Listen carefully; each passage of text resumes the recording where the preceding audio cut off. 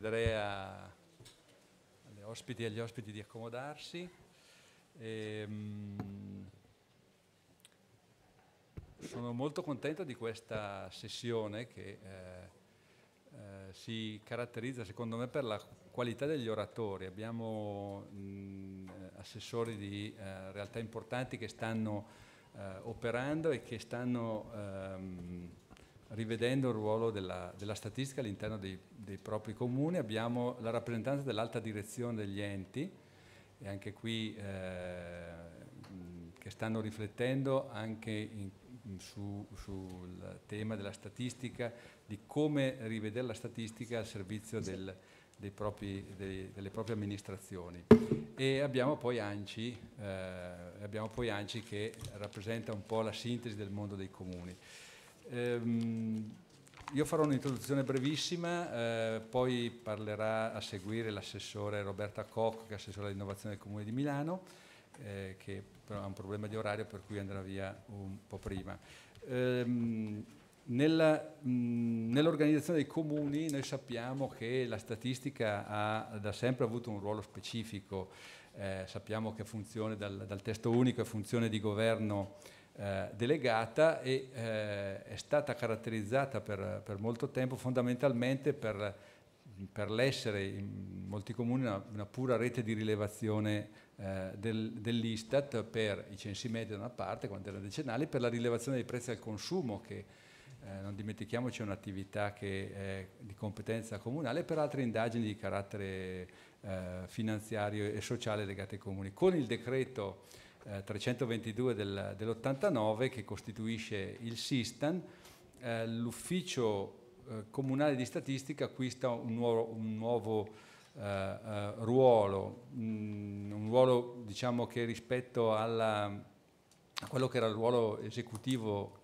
che, che, aveva prima diventa molto più ampio, si parla nelle, nelle, eh, nelle, mm, nelle direttive del, del nelle direttive di un ruolo eh, relativo alla, a, alla, produzione di statistiche, quindi possiamo dire è il termine con cui intendiamo eh, le attività eh, ordinarie, ma anche di studi e ricerche a livello locale, che vuol dire attività sofisticate dove l'elaborazione eh, diventa analisi e eh, a supporto eh, del, delle delle amministrazioni e eh, poi con le modifiche normative successive si arriva a, a, mh, al tema della valorizzazione del patrimonio informativo degli enti.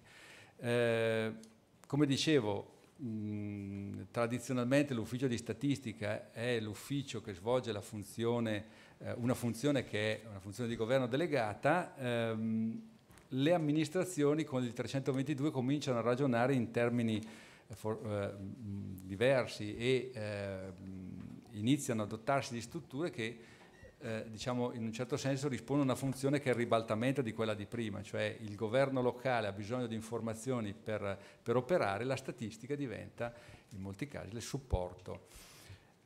Eh, veniamo a oggi. Oggi il modello di censimento permanente eh, che si sta implementando in, questi, in, questi, in queste settimane eh, contiene in sé una potenzialità di, ehm, di, eh, una potenzialità di riforma anche organizzativa degli uffici, prevedendo la distinzione tra comuni autorappresentativi e non autorappresentativi, prevede che per alcuni comuni l'attività di censimento permanente sia continua nel tempo e che quindi prevede che sia la possibilità di consolidare un nucleo di risorse interne dedicato quantomeno alla, alla, a un'attività ordinaria finanziata dall'Istat eh, che eh, darà in cambio alle amministrazioni un flusso di dati che finalmente sarà eh, annuale e quindi mh, in un certo senso può essere un'occasione per, per, consolidare una funzione. Mh, non so quanto per svilupparla, ma sicuramente potrebbe essere un'occasione per consolidarla. È chiaro che si tratta di una visione che per realizzarsi deve trovare eh, questo ruolo del, del, dell'ufficio di statistica come eh, a supporto del governo locale, un incontro tra le esigenze della politica, qui abbiamo appunto gli assessori, le strategie nazionali di innovazione che stanno agendo anche eh, nei comuni e che ci dicono una cosa importante, cioè che i dati sono sempre di più una risorsa per eh, ehm, anche per la produzione dei servizi e anche le esigenze di gestione manageriale degli enti. La sessione quindi, mh, come avevo anticipato prima, mette insieme delle visioni eh, di chi è all'interno dei comuni, visioni ehm, dei vertici, che sono dei vertici politici e dei vertici amministrativi e eh, l'idea era proprio di capire come si stanno muovendo tre realtà importanti nel, a livello nazionale che hanno ehm, visioni e strategie nelle quali l'ufficio di statistica svolge un ruolo che è un po' oltre quello che era una volta di ufficio di raccolta dati per conto dell'Istat. Io quindi eh, lascerei adesso la parola all'assessore eh, Roberta Cocco, assessore all'innovazione del Comune di Milano, che ci parlerà dell'esperienza del Comune di Milano. Grazie, grazie ad Istat per questo, ehm, per avermi voluta qui oggi, per questo invito. Se potete mettere le slide, grazie. Eh, ho raccolto in qualche slide insieme a, al team che lavora su queste eh, informazioni come noi stiamo lavorando su Milano e come abbiamo eh, negli ultimi due anni eh, rivoluzionato l'approccio ai dati, che è sempre stato un approccio molto preciso, molto eh, profondo e anche con grandissima attenzione a quello che dal dato eh, non fosse un numero eh, o un oggetto sterile, ma poteva venire dalla conoscenza.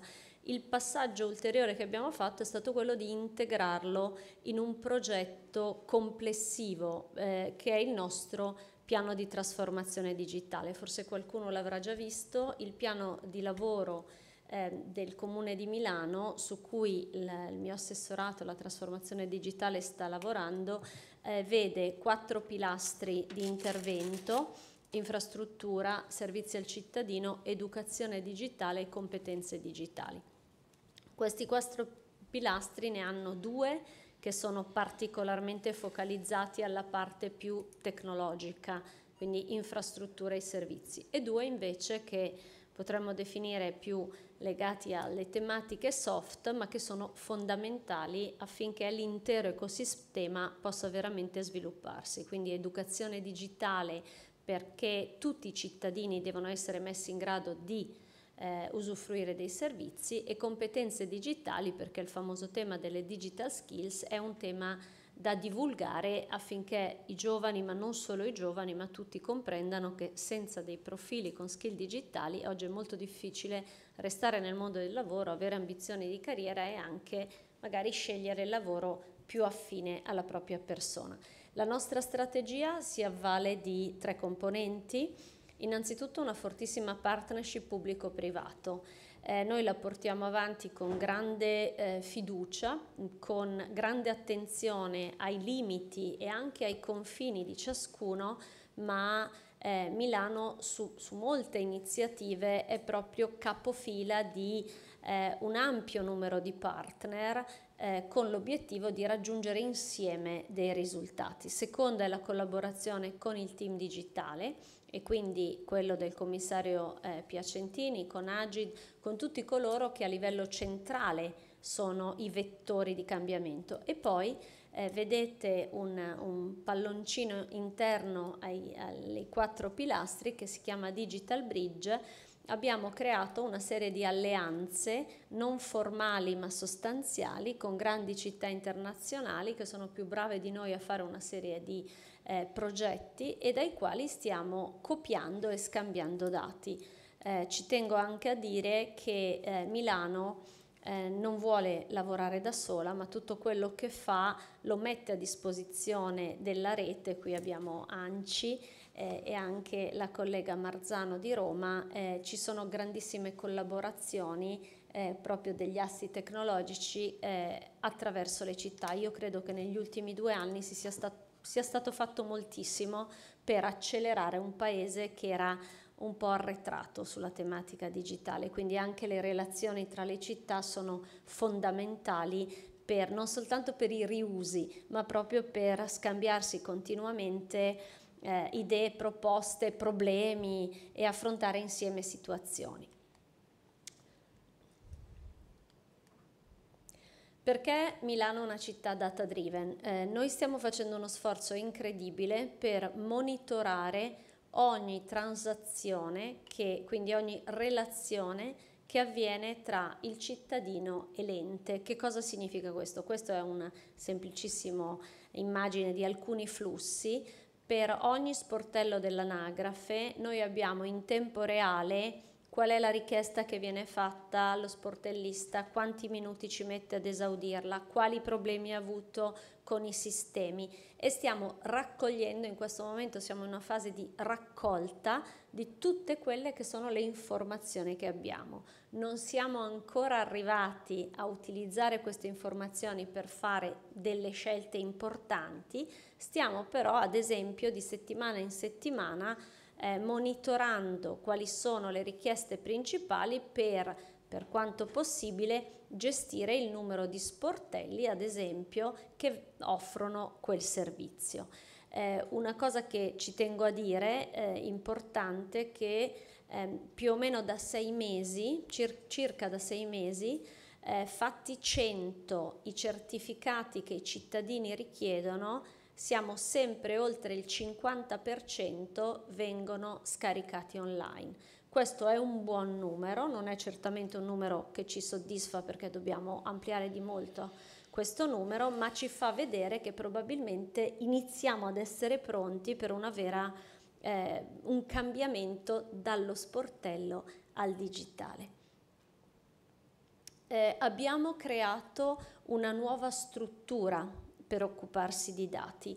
Eh, il Comune di Milano ha da mm, ormai più di sei mesi un Chief Data Officer, cioè un coordinatore di tutte le strategie e i progetti sui dati, a cui fanno capo le strutture che prima erano sparse in diverse organizzazioni, che da quest'anno abbiamo riunito all'interno della divisione eh, agenda digitale, sistemi informativi agenda digitale che fanno parte le componenti di statistica, di open data e di sistema informativo territoriale. Qua c'è anche il dottor Semisa che è il nostro responsabile dell'area statistica.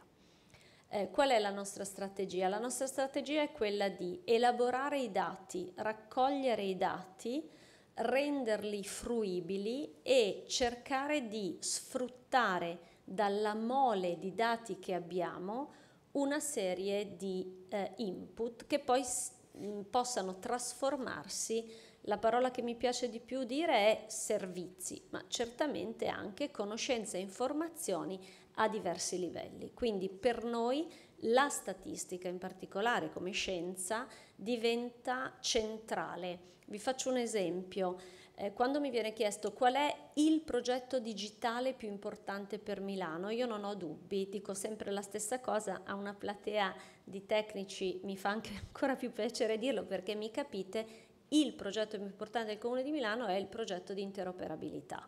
Su questo abbiamo investito sin dall'inizio, siamo solo nella prima fase, questo significa che per noi i dati sono l'elemento essenziale, sono veramente l'oro che stiamo cercando e che eh, ha davanti ancora una lunga strada per fare un'analisi ed un utilizzo eh, veramente efficace ed efficiente.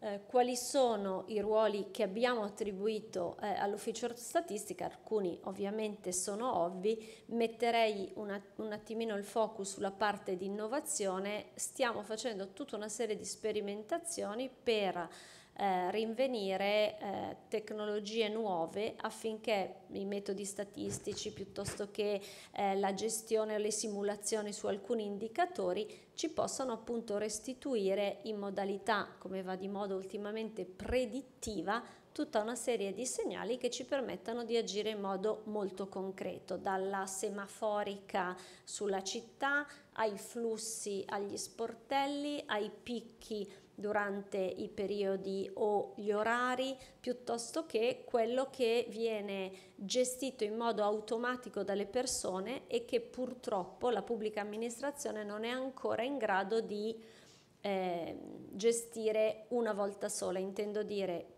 ci capita ancora troppo spesso di chiedere gli stessi dati alle persone più volte perché devono fare magari pratiche diverse. Allora riuscire ad automatizzare questi sistemi grazie ai flussi e al numero di dati che rinveniamo può essere sicuramente un grande vantaggio per i cittadini ma credo anche per le persone della pubblica amministrazione eh, quali sono i nostri canali di uscita, quindi che cosa eh, in questo momento esponiamo. Sicuramente il progetto più ampio è quello del geoportale. Il geoportale del Comune di Milano si sta ampliando moltissimo, abbiamo tutta una serie di sistemi interni di misurazione e monitoraggio, eh, ne cito uno perché è un progetto derivato da uno dei Digital Bridge, quindi da una connessione internazionale ed in particolare quella con New York. Stiamo lavorando sullo stesso sistema che ha adottato New York per il monitoraggio eh, di tutto il verde che c'è nella città, sia nei luoghi apparentemente chiusi come possono essere i parchi o ad esempio i cimiteri io sto facendo un lavoro specifico avendo i civici o anche i cimiteri sul cimitero monumentale e abbiamo scoperto una flora incredibile, eh, poco ci manca che sia più vicino all'orto botanico che non, che non al cimitero. In un prossimo futuro questo lavoro potremo farlo ad esempio di monitoraggio e di aggiornamento attraverso dei droni. Eh, questo in particolare è uno dei progetti che abbiamo intenzione di eh, sperimentare ad esempio con il 5G. Eh, il portale Open Data sicuramente è uno, un portale che da, offre una serie di informazioni molto ampie, è stato recentemente rinnovato, ha circa eh, 400 dataset, anche qua la strategia del portale è stata eh, discussa e, e, messa a confronto con uno degli esempi eccellenti che abbiamo a livello europeo, che è quello di Barcellona. Abbiamo lavorato con loro pur mantenendo però una nostra identità. Eh, lo sforzo più grande qui è stato quello di trasformare le informazioni che all'interno a noi, agli statistici, ai tecnici eh, erano assolutamente ovvie in un linguaggio comprensibile a tutti. A volte la pubblica amministrazione si dimentica che noi abbiamo un linguaggio che magari per noi è eh, consono, eh, solito, ma che per le persone non è così eh, immediatamente comprensibile. E da ultimo ci stiamo impegnando moltissimo insieme ad Istat per offrire il nostro supporto sul censimento permanente. Crediamo che sia eh, veramente una evoluzione positiva e che quindi ci permetta di eh, aiutare non solo le realtà locali ma a livello nazionale di eh, poter monitorare con maggior frequenza e con maggiore profondità come evolvono tutte quelle metriche che hanno a che fare con l'economia e il sociale.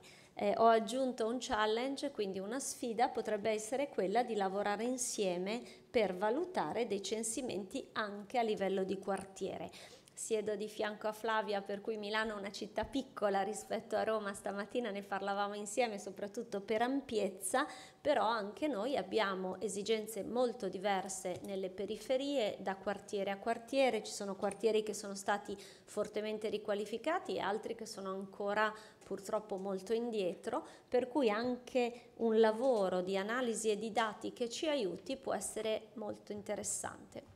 Eh, io oh, finisco con What's Next.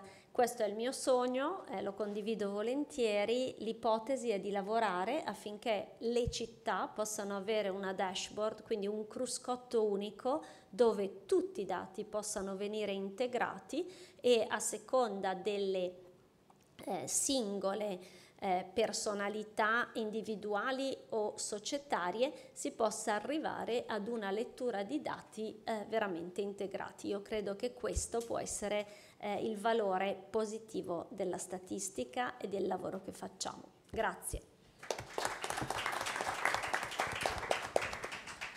Grazie all'assessore Coco che ci ha mh, fatto vedere in maniera molto chiara, ci ha, ci ha in un certo senso eh, ci ha reso consapevoli del fatto che la pubblica amministrazione eh, produce eh, dei big data. Anche noi siamo parte dello tsunami dei dati. e questa è una cosa che forse mh, cominciamo adesso a capire, ma ci ha anche fatto vedere che eh, mh, da quello tsunami dei dati possono uscire servizi, può uscire conoscenza, possono uscire e eh, l'ufficio di statistica dentro in questo, in questo, quadro di innovazione può avere un, un suo ruolo eh, che è eh, sempre diciamo, un modo di coniugare il, la funzione statistica a supporto del governo locale, un modo eh, diciamo, ritagliato sul, sull'oggi. Adesso ehm, parlerà Flavio Marzano che è assessore all'innovazione di Roma Capitale e ci parlerà dell'esperienza di Roma Capitale. Grazie. Grazie davvero di questa opportunità, sono molto contenta, molto contenta anche di essere qui accanto a Roberta perché ci conoscevamo dalle nostre vite precedenti, ci siamo ritrovate nello stesso periodo a fare un lavoro diverso ma uguale, nel senso che quindi è, è doppio piacere, grazie dell'invito. L'assessorato si chiama Roma Semplice, posso avere le slide per cortesia? Come non ha slide? Ops, arrivano. Speravo, ok, ehm, arrivano. Eh, si chiama Roma Semplice, ehm, che, che, suona come un ossimoro, perché Roma è tutto tranne che semplice. Poi, parlando in questa platea di dati complessi, capite bene cosa intendo. Diciamo che è un obiettivo, è un obiettivo che eh, l'analisi dei dati può sicuramente aiutarci con forza a, a interpretare. E il, quello che diceva Roberta rispetto allo scambio, al riuso, anche noi lo abbiamo fatto e mh, mm, in, in, in, primissimi tempi, era ottobre del primo anno, il, per la precisione il 3 di ottobre, non me lo dimentico, poi vi dirò anche perché. Noi abbiamo inizia, iniziato il 7 di luglio eh, 2016 e il 3 di ottobre abbiamo fatto un evento, un incontro che abbiamo chiamato Mettiamo in comune l'innovazione con la C maiuscola con l'obiettivo di condividere l'innovazione e abbiamo chiamato tutti gli assessori all'innovazione italiani. C'erano rappresentati 11 milioni, 11 di italiani in quel contesto, di tutti i colori, destra, centro, sinistra, 5 Stelle e non, e mi ricordo bene che era il 3 di ottobre perché il 3 di ottobre era anche il giorno in cui il sindaco Pizzarotti di Parma è uscito dal Movimento 5 Stelle in quel contesto, a Mettiamo in comune l'innovazione fatto in eh, Campidoglio, c'erano il suo assessore e il suo tecnico. Questo perché l'innovazione si fa così, per fortuna, se posso dirlo, a prescindere dal colore del cappello che uno ha in testa e i dati su questo ci possono anche aiutare parecchio. La statistica nei governi territoriali in particolare è ovviamente essenziale nel definire da una parte le politiche perché mettono a disposizione i dati della, di chi prende decisioni, di chi fa politica, le informazioni. Il decisore politico eh, deve poter decidere basandosi sui dati. Ed è una cosa che, ah, ripeto, io faccio questo mestiere da un paio d'anni, essendo un tecnico, prima facevo tutt'altro e ho passato i miei primi, gli ultimi trent'anni a brontolare con i politici che dicevano che mi volevano migliorare la qualità della vita nelle loro campagne elettorali, no? E come me la misuro? Il qualitometro non ce l'ho, il migliorometro neanche, o mi dai degli indicatori che siano concreti e misurabili, se no io... E questo forse è una cosa su cui potremmo, insieme anche a Istat, lavorare perché la consapevolezza del valore del dato anche ai politici, e non solo ai politici che i dati li usano e li vedono e li sanno capire perché di mestiere lo facevano già prima, ma anche politica ovviamente la fa da, da, dal giurista al laureato in scienze politiche o in filosofia, non importa, va bene tutto, ma la scelta politica, lei parlava di data driven, data driven decision. Io vorrei che le decisioni fossero prese basate sui dati, perché, eh, ed è quello su cui stiamo provando no, anche a, a Roma a fare, perché io vi dico che domani diluvia, perché i dati questo mi dicono tu politico puoi decidere che vuoi fare vedere che sei grande, forte, giovane, vai in giro scalzo e senza ombrello. È una scelta politica consapevole. Ed è questo che secondo me i dati devono servire. Dall'altro lato c'è invece la, la, il bello da parte dei cittadini di poter verificare, ecco le slide che arrivano, verificare che cosa eh, sta facendo la politica, perché i dati sono anche un grandissimo strumento di trasparenza e quindi arrivo a quello che vi volevo dire, ma tanto appunto il gancio, purtroppo se non parlo per prima non dico mai quello che avevo previsto di dire e lei mi ha lanciato un po' di, di, di pensieri e quindi volentieri ve li ridico. Eh, ops, ora va avanti troppo, ma ce la facciamo, eh, torniamo indietro. Ok la valorizzazione della funzione statistica per Roma Capitale. Intanto la complessità, poi ne parleremo di, di, quanti e quali sono i dati che definiscono la complessità di Roma Capitale e le linee programmatiche che abbiamo fatto per il 2017-2021 specificamente per la funzione statistica presso Roma Capitale. La statistica per misurare il benessere dei romani, di questo arriveremo a dire anche fra un attimo, e i rapporti con la funzione statistica di città metropolitana e gli open data, che sono ovviamente un altro, un altro elemento.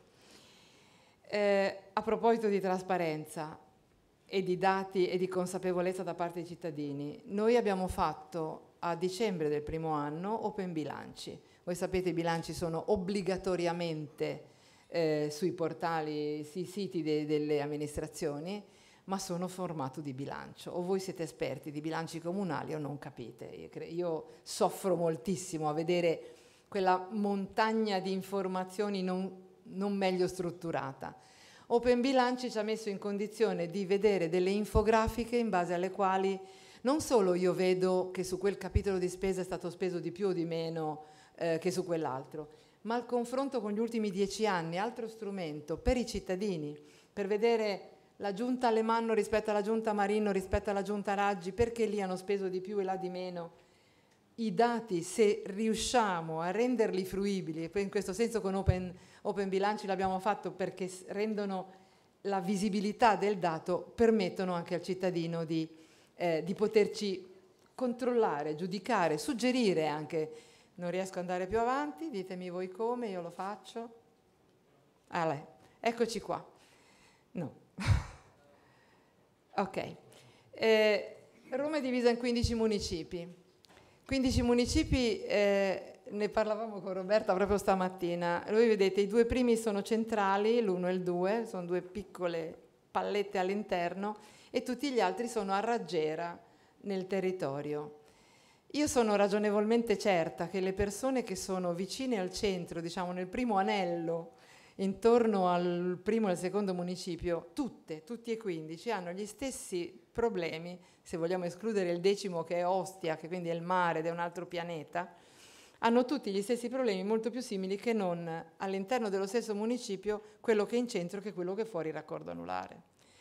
Non so perché, come e quando sia stata definita così, probabilmente c'è di che intervenire. L'altro grafico vi dà l'idea della complessità che citava anche prima Roberta. Nove città metropolitane stanno nel territorio di Roma ed è ovviamente un dato che Milano, Bologna, Napoli, Torino, Catania, Palermo, Genova, Firenze e Bari, non cittadine ma città, e, e, solo Bologna, gli abitanti di Bologna sono il numero dei residenti stranieri a Roma. I dati.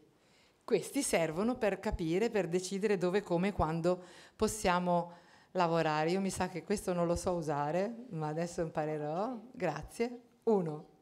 Grazie Roberta, fatto, no? uno in meno. Anche tu se ne hai saltato uno. Ce n'è un altro prima. Un altro prima? No, indietro. No, no. Sì, sì. No, è questa. Ok, uno solo? Perfetto. Allora, la popolazione. Sono poco meno di 3 milioni gli abitanti, eh, salvo che ogni giorno raddoppiano, perché ogni giorno ci sono un paio di milioni di turisti circa e una milionata di pendolari. Esseri umani che ovviamente usano, passatemi la parola, la città, la consumano, la sporcano e pagano le tasse altrove. E questo è un intervento su che Roma si deve far carico, sempre parlando di complessità ovviamente. Sono dati, poi qui trovate anche la divisione in maschi, femmine, stranieri, eccetera. E, e sono dati interessanti che eh, ci fanno capire anche in funzione del numero di dipendenti, sono poco meno di 24.000 i dipendenti. Ne parlavo prima col presidente Alleva, sono tanti o sono pochi? A priori non si può dire se sono tanti o sono pochi. Ha senso deciderlo se e come in funzione di che cosa stiamo parlando? Le nove città metropolitane che vedevamo prima, che sono sul territorio di Roma Capitale, hanno più di 60.000 abitanti, di dipendenti, scusate. Roma ne ha 24.000 scarsi. Un altro esempio che mi, mi lascia perplessa tutte le volte che ci penso, Copenaghen, che è una città smart, innegabilmente, se ci siete stati lo potete confermare sotto tantissimi punti di vista. Copenaghen, che ha 600.000 abitanti, quindi un quinto degli abitanti di Roma circa, ha 10 volte più il numero di dipendenti, ne ha 48.000. Allora, diciamo che siamo capaci anche noi a lavorare con un po' di persone in più, no? Cioè, se ci date più personale siamo in grado anche noi di fare di più e di meglio. Ma comunque, i dati servono alla politica per capire dove, come e quando muoverci e a fronte di circa il doppio degli abitanti di Roma che abbiamo visto delle nove città, le nove città hanno due volte e mezzo il numero dei dipendenti di Roma Capitale, senza voler andare a Copenaghen che è, in un altro pianeta. Andiamo avanti. Le linee programmatiche, dicevamo, rafforzare le metodologie e gli strumenti di raccolta in prima battuta, perché su questo dobbiamo capire dove, come e quando vengono raccolte, elaborate, archiviate, diffusi i dati, perché sono un enorme patrimonio informativo eh, stamattina era un altro incontro in cui la, la, Regione Campania parlava dei propri dati. I, i dati purtroppo sono dati eh, digitali da troppo poco tempo. Le amministrazioni esistono da molti più anni di quanto non esista il digitale e noi abbiamo tonnellate di carta da digitalizzare. Il patrimonio informativo noi dobbiamo preservarlo e abbiamo il dovere di far sì che diventino informazioni e per questo è importante fare una programmazione annuale, monitorare anche le performance delle strutture dell'ente in quest'ottica.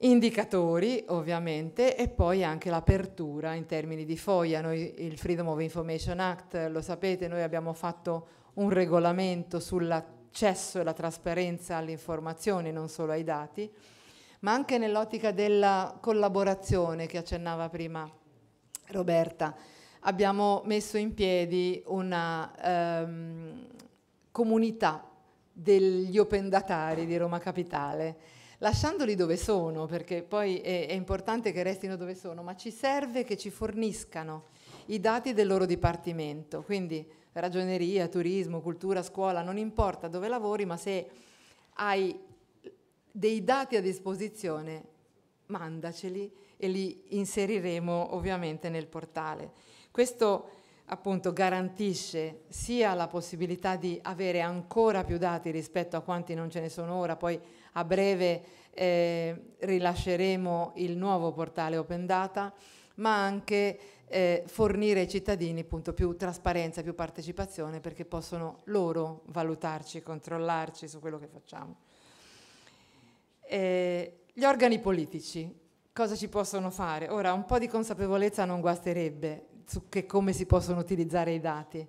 Ma questo è, mi rendo conto che da vedere forse per chi è lontano è un po' complessa, ma l'ufficio statistica dati, l'ufficio statistica open data, che è eh, il cuore di questa, di questa possibilità che abbiamo, perché è vero che noi possiamo utilizzare con Roma Ascolta Roma, con tutti gli strumenti partecipativi di ascolto che abbiamo adottato in questi due anni, raccogliamo esigenze, informazioni, eccetera, ma la statistica che è di fatto eh, quella che ci fornisce poi la visione della, della, nostra città e i dipartimenti interni all'amministrazione sono da una parte produttori di dati, dall'altra anche consumatori di dati, perché poi li devono anche riuscire a gestire. Per questo la comunità degli open data diventa molto importante. Andiamo avanti se no vado troppo in là perché ho, ho anticipato questa è la cosa di cui andiamo più fieri. Io tra l'altro ringrazio davvero moltissimo sia le persone che sono qui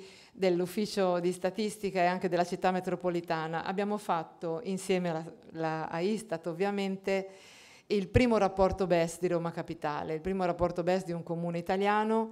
Abbiamo ovviamente a partire dai 12 domini BES, abbiamo valutato i 129 indicatori, ne abbiamo per ora adottati 75, ma lavoreremo anche su quelli successivi, proprio perché Poi in questi giorni se ne parla proprio tanto, ora eh, da qualunque parte voi siate come pensiate, ma si parla davvero tanto del valore del PIL da una parte e del valore del benessere equo e sostenibile da quell'altra. Eh, non dovrebbero essere in, in contrapposizione, ma questo è uno strumento che ci permette di eh, essere valutati, ma anche di valutare noi noi stessi per capire anche dove e come possiamo migliorare le nostre politiche. Eh, ok, andiamo avanti. Quindi dicevo 75 sono stati i domini, eh, gli, gli, indicatori sui 12 domini, questi sono in rosso, in verde eh, i punti di forza, quelli verdi e, e in rosso un po' meno. Sicuramente no, questi indicatori ci hanno permesso anche di vedere non soltanto dove siamo bravi, siamo tanto contenti, ma soprattutto dove non siamo bravi perché è lì che dobbiamo intervenire per migliorare, per, per fare meglio il nostro lavoro. Non sono poche le cose dove siamo bravi, ma non sono poche nemmeno quelle in cui possiamo lavorare meglio. Eh, vi leggo soltanto quelle in rosso, che così eh, mi sembra giusto. Mortalità per tumori è più alta in termini di confronto con eh, regione e, e, e paese. Qualità dell'aria, permanenza di lavori instabili, raccolta differenziata. Immagino che chi vive a Roma lo sappia.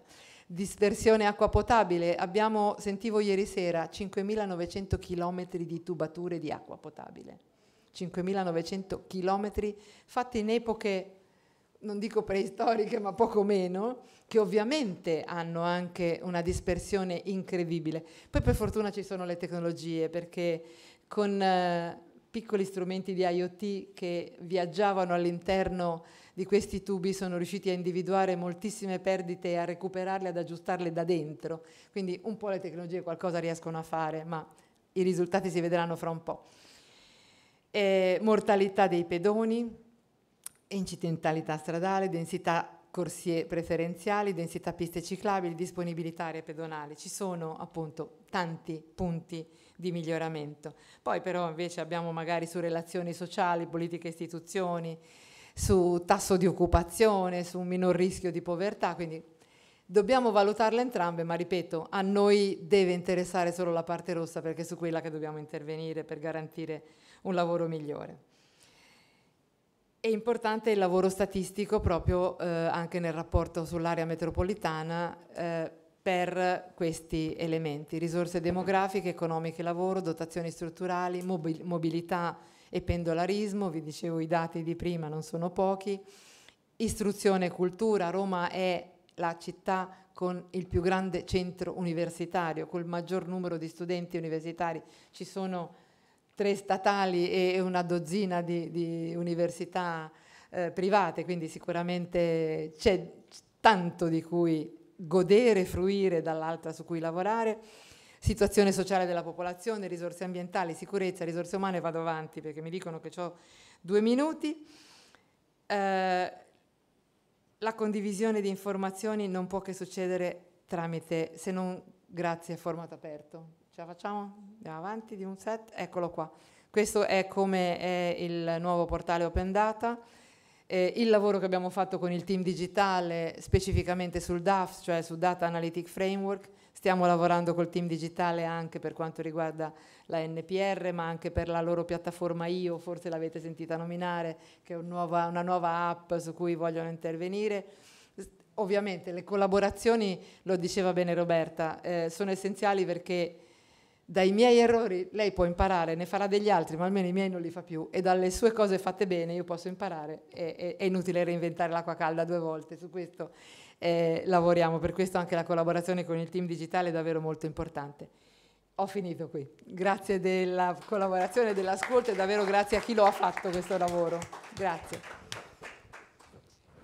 Grazie. Ehm, la Ehm, direi che l'intervento mi ha colpito una, due, un concetto, cioè che eh, tra gli amministratori pubblici si sta cominciando a diffondere l'idea della misurazione, che non è una cosa, eh, magari all'estero si dice eh, è già consolidata, eccetera, però in Italia fa fatica questa idea di, ehm, eh, di misurare e quindi di mettersi di fronte ai cittadini con degli elementi quantitativi molto precisi e quindi in un certo senso anche eh, meno opinabili rispetto a quello che è il discorso politico, di farsi misurare su degli obiettivi quanti, eh, quantitativi. Questo credo che sia un, un, passaggio importante che viene poi declinato rispetto al tema della trasparenza con lo strumento degli open data. Eh, però credo che sia un'esperienza che eh, mostra una maturazione di una modalità, mh, direi, eh, in, in, cui la componente quantitativa e statistica gioca un ruolo importante e gli uffici vengono poi utilizzati per la produzione e quindi per la certificazione da un certo punto di vista delle informazioni che vengono poi utilizzate dall'amministrazione. Adesso eh, da, dal mondo del, della politica, delle, delle, delle, delle assessore, degli assessori, eh, passiamo invece al mondo dell'alta dirigenza de, degli, enti, degli, enti, locali.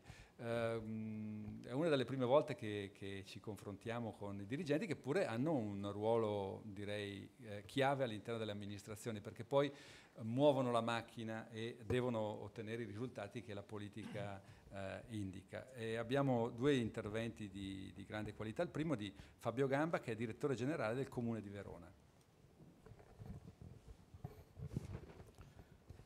Buonasera, saluto, sal, salto i convenevoli perché ormai ce li siamo già fatti e ringraziamenti di rito.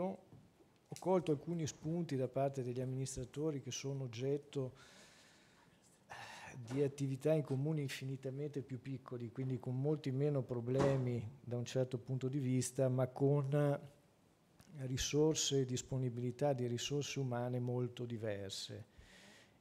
Il comune di Verona è più grande del comune di Vinano come superficie, sembra una butade, ma ha solo 264.000 abitanti è comunque la quarta città turistica d'Italia, è la seconda del Veneto dopo Venezia, ehm, ha una complessità di problematiche che sono più proprie di una realtà forse metropolitana che non di una realtà di città media come è Verona. In ragione di questo, una serie di attività eh, sono ormai diventate condivise in ragione della capacità di poter dare delle risposte come amministrazioni ovvero basarsi su elementi oggettivi e non soggettivi che consentano di dare una misurazione dell'efficacia delle politiche che vengono attuate.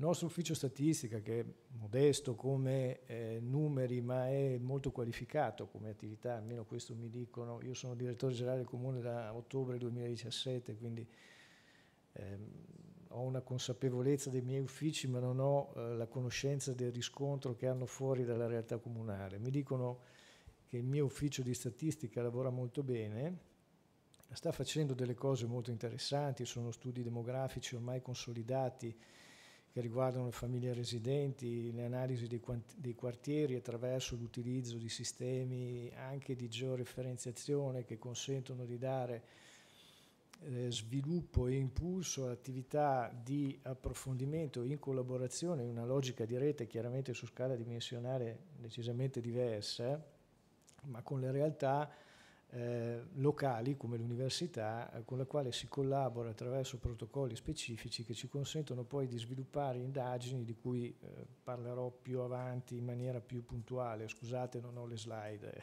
siamo meno attrezzati mentalmente, dico io, eh, rispetto ad altri contesti.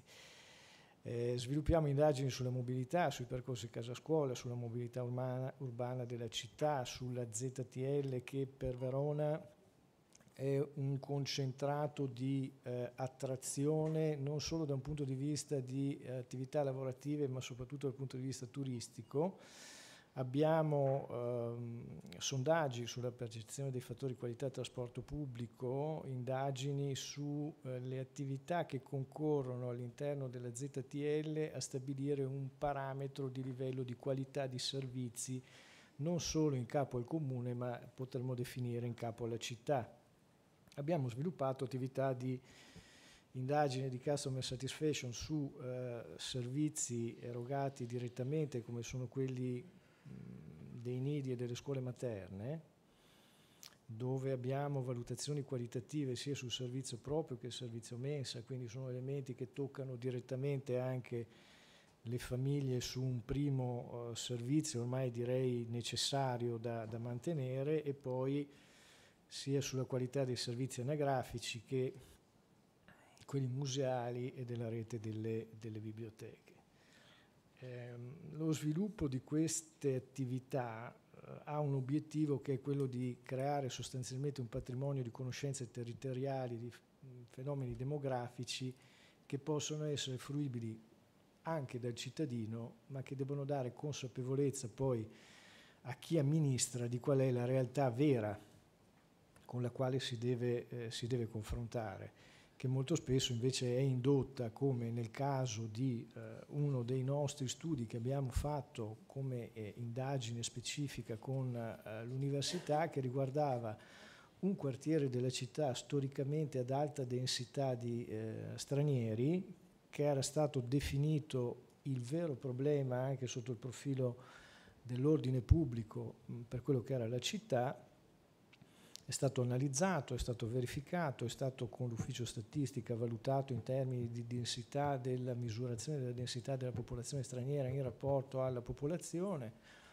Sono state attivate una serie di politiche di riqualificazione. La stessa università vi ha trasferito una propria sede. Eh, il risultato, due anni dopo quello che era stato il primo, eh, la prima analisi che era stata fatta, successivamente l'avvio di, di, di, questo tipo di attività ha portato a un rallentamento dell'abbandono da parte dei residenti, a un ringiovanimento della popolazione e alla vivacizzazione della vita culturale. Aver portato eh, alcune sedi dell'Ateneo ha portato una diversa popolazione che ha sostanzialmente, eh, per buona parte, diciamo, eh, ridotto lo spazio a chi si stava appropriando in maniera diciamo più pericolosa di quello che era una parte della città. Ha consentito quindi di avere degli altri elementi benefici che erano quello dell'investimento di altre attività. Si ritorna con altro tipo di negozi, altro tipo di attività che sono collegati anche a questa popolazione nuova. Si, si è cambiato un po' pelle a un quartiere grazie a una attività di analisi puntuale a una conseguente attivazione di politiche diverse che principalmente hanno coinvolto chiaramente l'università, cosa che non sarà possibile fare in altri quartieri ovviamente, ma ha portato un impatto, un impatto eh, che se non ci fossero state le misurazioni reali e puntuali e se non fossero stati ben qualificati quei dati, probabilmente avrebbe portato alla solita percezione di insicurezza permanente legata alle motivazioni più, diciamo, politiche che non reali. In ragione di questo vi è la necessità di acquisire sempre maggiori e diversi elementi, cioè noi siamo seduti su una specie di, miniera d'oro che sono i dati che vengono raccolti da tutti i servizi, le strutture comunali e quelli che sono eh, forniti da Istat, che devono essere in qualche modo integrati, qualificati e resi fruibili in maniera uniforme e pulita. Quindi la qualificazione del dato è il primo obiettivo perché poi questo dato possa essere utilizzato oltre che dagli uffici anche dagli amministratori. In ragione di questo Abbiamo pensato di sviluppare chiaramente il portale del, di statistica del Comune di Verona, ma eh, siamo ancora in una fase in fieri e da dicembre che abbiamo realizzato questo portale, ma abbiamo attivato delle collaborazioni altre per verificare l'impatto di altre attività che concorrono su una città di direi medie dimensioni come, come il Comune di Verona. Uno di questi è, è stato l'impatto delle maratone a Verona si svolgono due o tre maratone all'anno, le principali hanno circa 10.000 partecipanti. Abbiamo attivato con gli organizzatori una, uno studio specifico, un sondaggio, una survey banalissima, raccogliendo una serie di elementi che danno l'idea di come possano essere utili certe attività finalizzate alla qualificazione e acquisizione dei dati. Abbiamo scoperto per esempio che in entrambe le maratone noi lo siamo posto come problema. Abbiamo 10.000 persone che corrono per la città per 40 eh, km e sono passatemi una rottura di scatole per il cittadino che ha il percorso chiuso, non esce di casa per un po' di tempo, telefona il sindaco, protesta con l'assessore.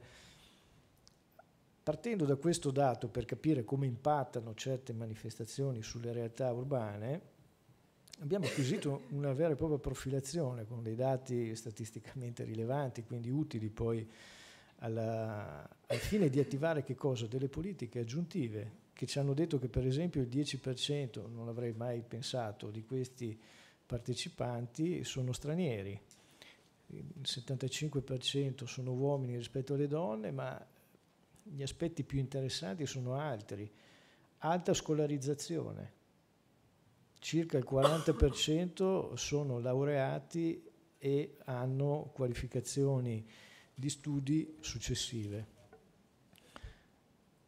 Sono disponibili a spendere molti soldi, circa il 37% è rimasto a Verona almeno due giorni il che significa, guardando dal punto di vista positivo, che un certo tipo di attività porta beneficio alla città, perché chi spende alimenta un certo tipo di ricchezza sulla città.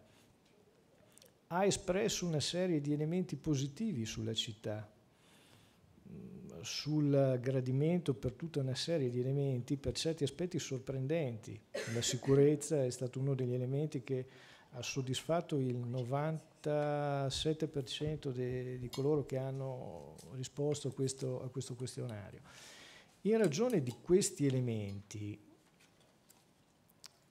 che cosa abbiamo fatto poi? Abbiamo attivato subito un tavolo con gli stakeholder interessati a questo tipo di acquisizione di informazioni per capire come sviluppare dei percorsi, per esempio, di attrazione culturale finalizzati a che chi viene per un motivo poi si possa fermare per un altro o possa beneficiare nel poco tempo in cui è all'interno della nostra città di una serie di attività che concorrono a farlo stare meglio, avere un'ottima opinione della città, parlarne bene, eh, la famosa reputation no?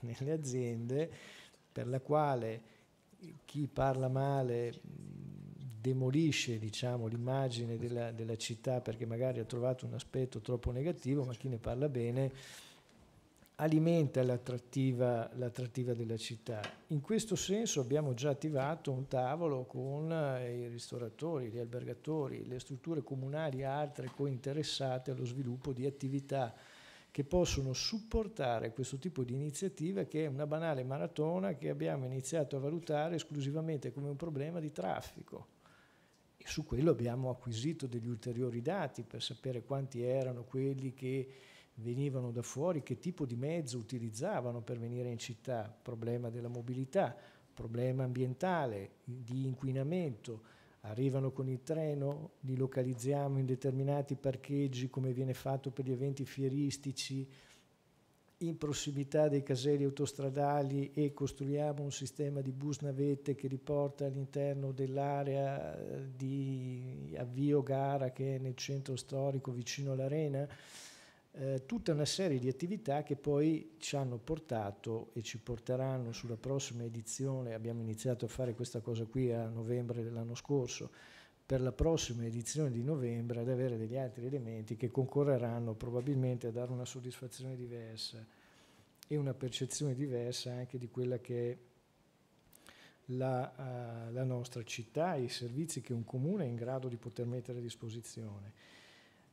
Un altro strumento che andremo a, a, valutare in ragione di un'estrazione e gestione di dati che possono qualificare politiche altre è quello della Verona Card che i turisti acquistano e consente di avere una puntuale localizzazione del percorso che il turista fa all'interno della, eh, del comune di Verona per sapere se è andato dove, come, quanto c'è stato, che cosa ha visitato, che cosa ha saltato e in ragione di quella com'è estendibile un certo tipo di alternativa ai soliti percorsi che vanno ad intasare in maniera eh, preoccupante da un punto di vista di sicurezza pubblica i siti che vengono normalmente presi d'assalto da tutti, ma che se diciamo decongestionati attraverso lo sviluppo di percorsi diversi e alternativi possono garantire una fruibilità migliore e diversa anche dei monumenti che sono quelli che vanno tutti a vedere, perché abbiamo creato dei flussi e dei percorsi diversi che probabilmente potrebbero attenuare determinate problematiche e far scoprire degli elementi anche nuovi rispetto a quelli consolidati. Passo rapidamente al problema vero, per come lo valuto eh, come, come, direttore generale del comune, queste sono tutte le cose belle. I problemi veri sono figurativamente, se pensate il personale, si può rappresentare come una, una coppa di champagne, cioè uno stelo molto stretto, che sono quelli che hanno meno di 40 anni, e poi la coppa che si allarga sempre più tra i 52 e i 55 e gli oltre 60 anni. In ragione di questo ci dobbiamo porre un problema legato al fatto che il personale all'interno delle amministrazioni locali è un personale eh, mediamente anziano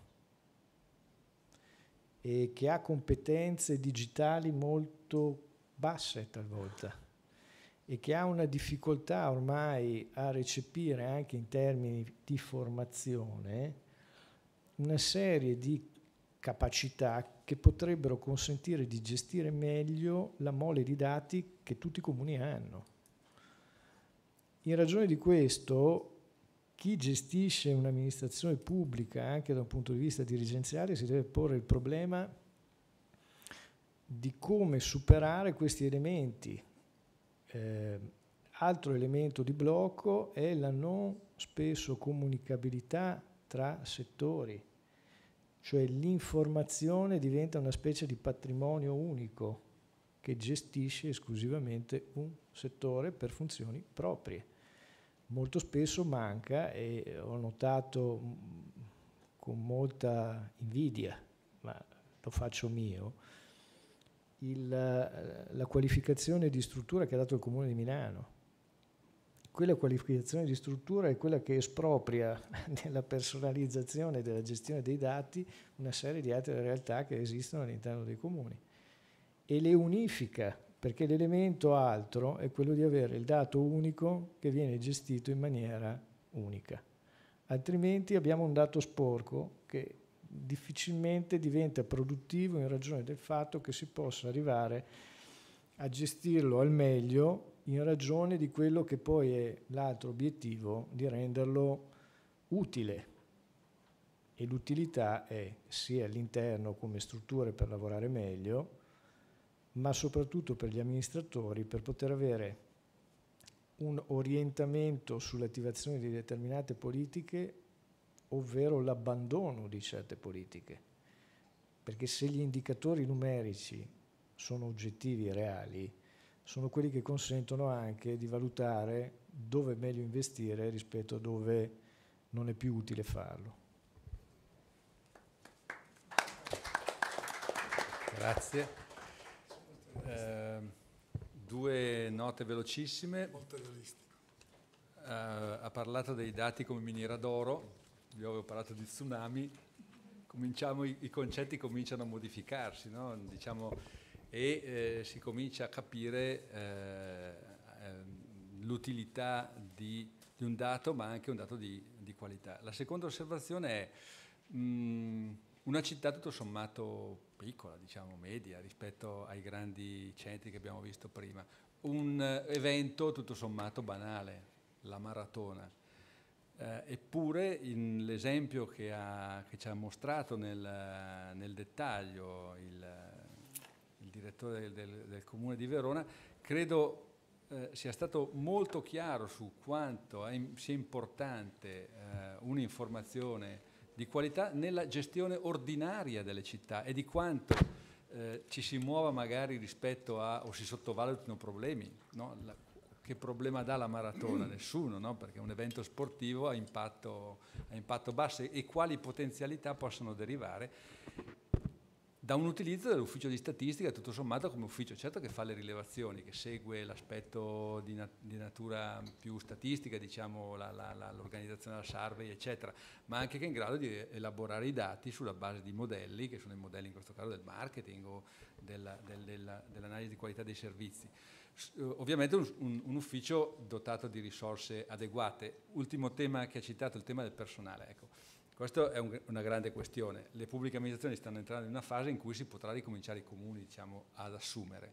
Beh, all'interno dei grandi filoni di assunzione degli, degli amministrativi, degli architetti, eccetera, credo che un occhio sugli uffici di statistica, ma nei termini che abbiamo visto oggi, cioè funzionali eh, rispetto non tanto per eh, effettuare il censimento permanente che è importante per carità, ma soprattutto in quanto funzionali alle esigenze specifiche della direzione, quindi della gestione ordinaria, diciamo, tra virgolette, delle città, ma anche dei piani di sviluppo strategici, credo che sia un tema sul quale forse come Sistan direi dovremmo dire qualcosa alle amministrazioni, cioè eh, non dico che devono assumere tutti statistici o informatici o data scientist come si dice adesso, però un occhio di riguardo a questo e mi sono già dilungato troppo.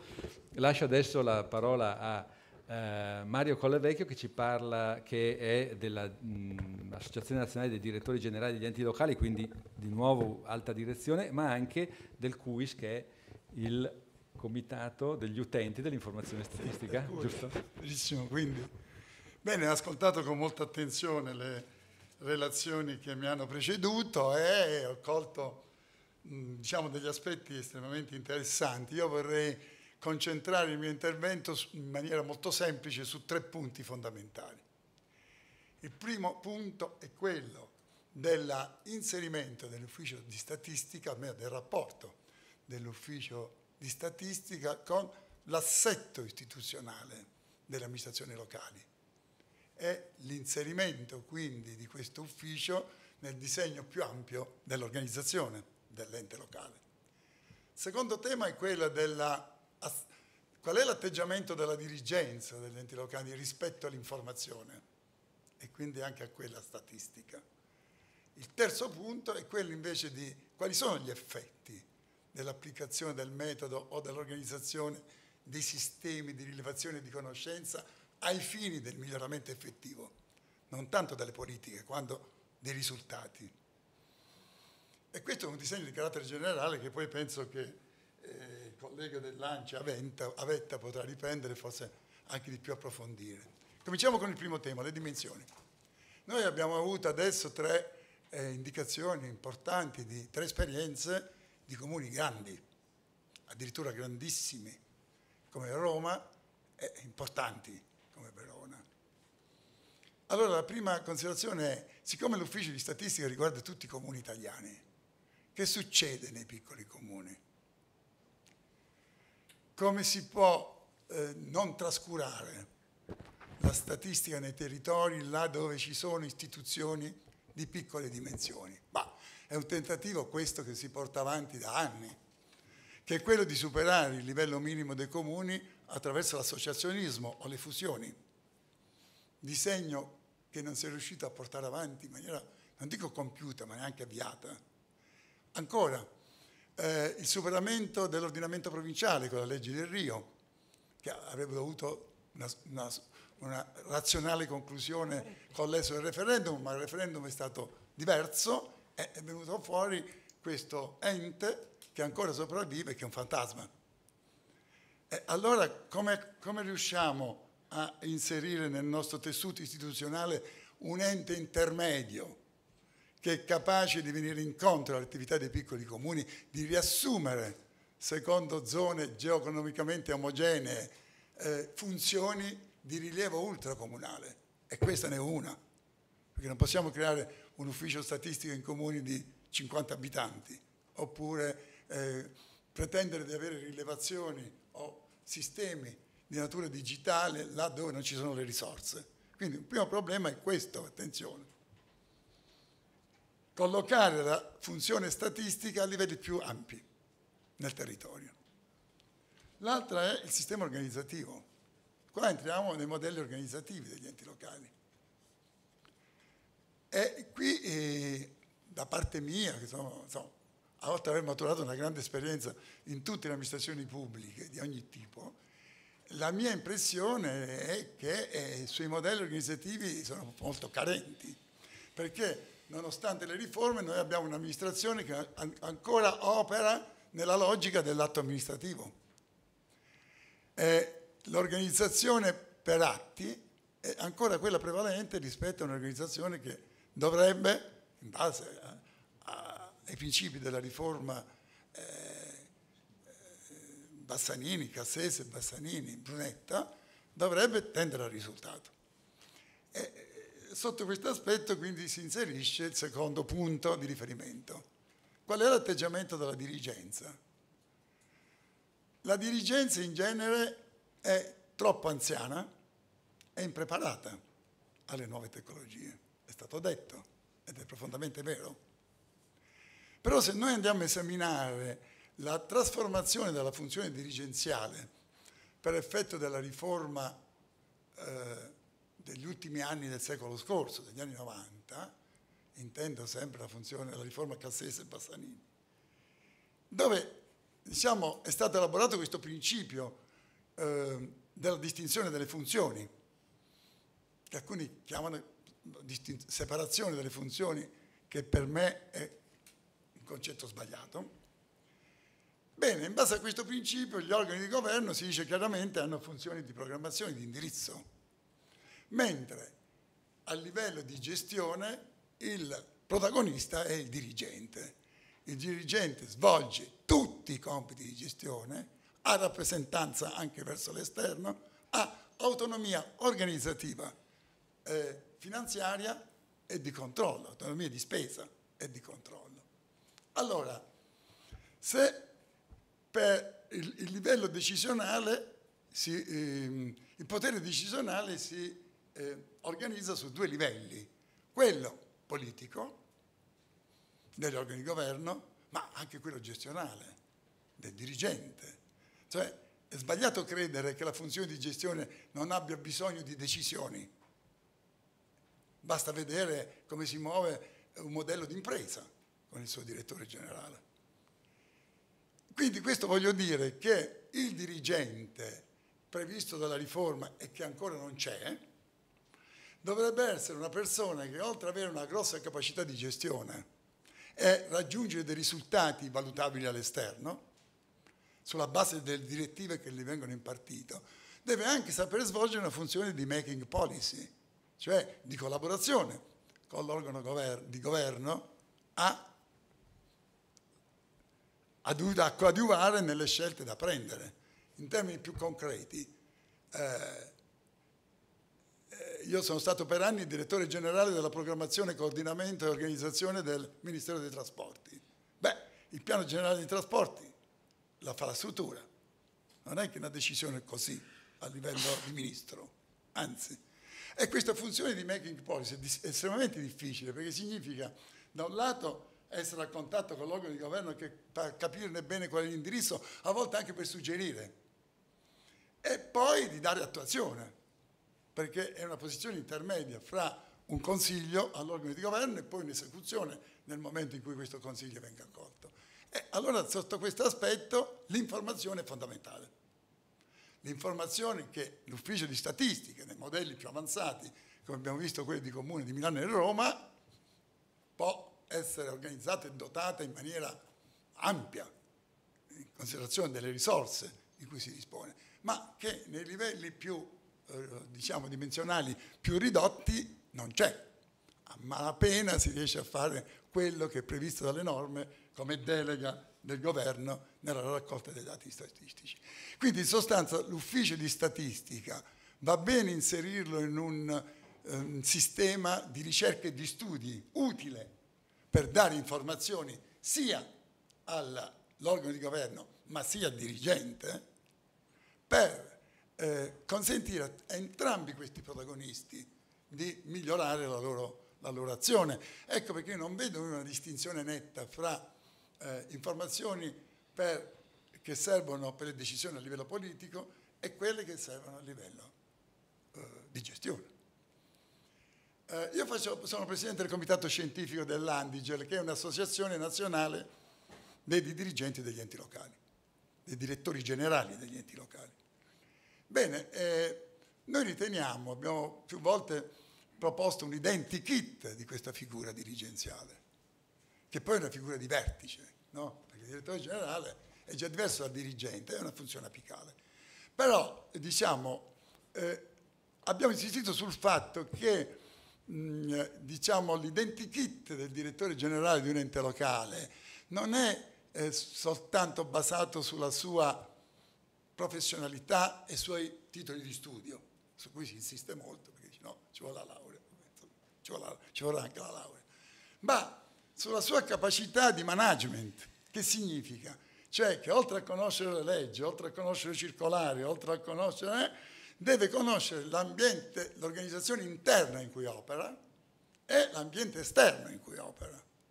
Quindi questo direttore generale ha bisogno di una serie di, di informazioni, di analisi, di riferimenti, di, ehm, che riguardano all'interno come funzionano i settori, come il modello organizzativo interno, se va bene o bisogna cambiarlo, perché è in grado di fare proposte di questo tipo, di mettersi strettamente in collegamento con i dirigenti a fine di, a fine di coordinare la loro attività, di rendere vitale uno strumento come quello del collegio di direzione riunirlo ogni settimana, per esempio, per dare anche informazioni su quello che accade all'esterno.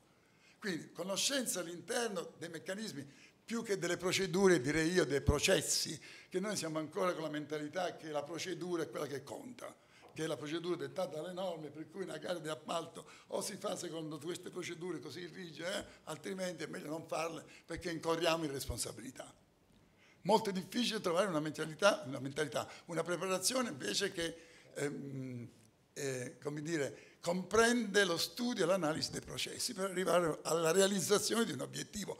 Guardate bene che la riforma è tutta su questo. La riforma è tutta su questo. Dice bene Trentini che, che cosa misuriamo? Quando a un certo momento il decreto Madia del 74 dell'anno scorso, che riforma i piani della performance, i processi di valutazione, e dice che la valutazione della performance organizzativa va fatta con riferimento all'apporto che ciascun dirigente ha dato al miglioramento del complessivo del funzionamento dell'ente con riferimento all'attività del suo settore. Che cosa misuriamo? Se non andiamo in una logica di risultato, se non facciamo piani della performance con obiettivi credibili e raggiungibili, misurati già in partenza, nel momento in cui si fa il piano, perché allora sì che possiamo fare il confronto tra obiettivo assegnato e obiettivo conseguito. Tutto questo manca e manca non per colpa della dirigenza, ma per il fatto che eh, l'innovazione tecnologica è stata veloce, ha trovato quindi una eh, dirigenza impreparata che si difende un po' dietro l'aspetto cosiddetto burocratico, no? cioè, come dice Mo che ci smondi a Forum Piano, questa eh, dirigenza difensiva.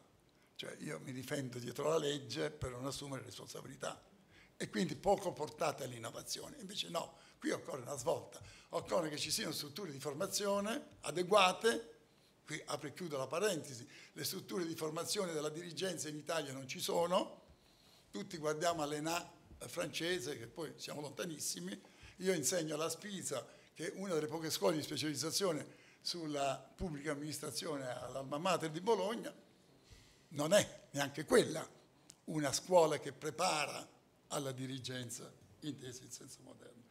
Concludo con riferimento al terzo punto, che è quello più delicato.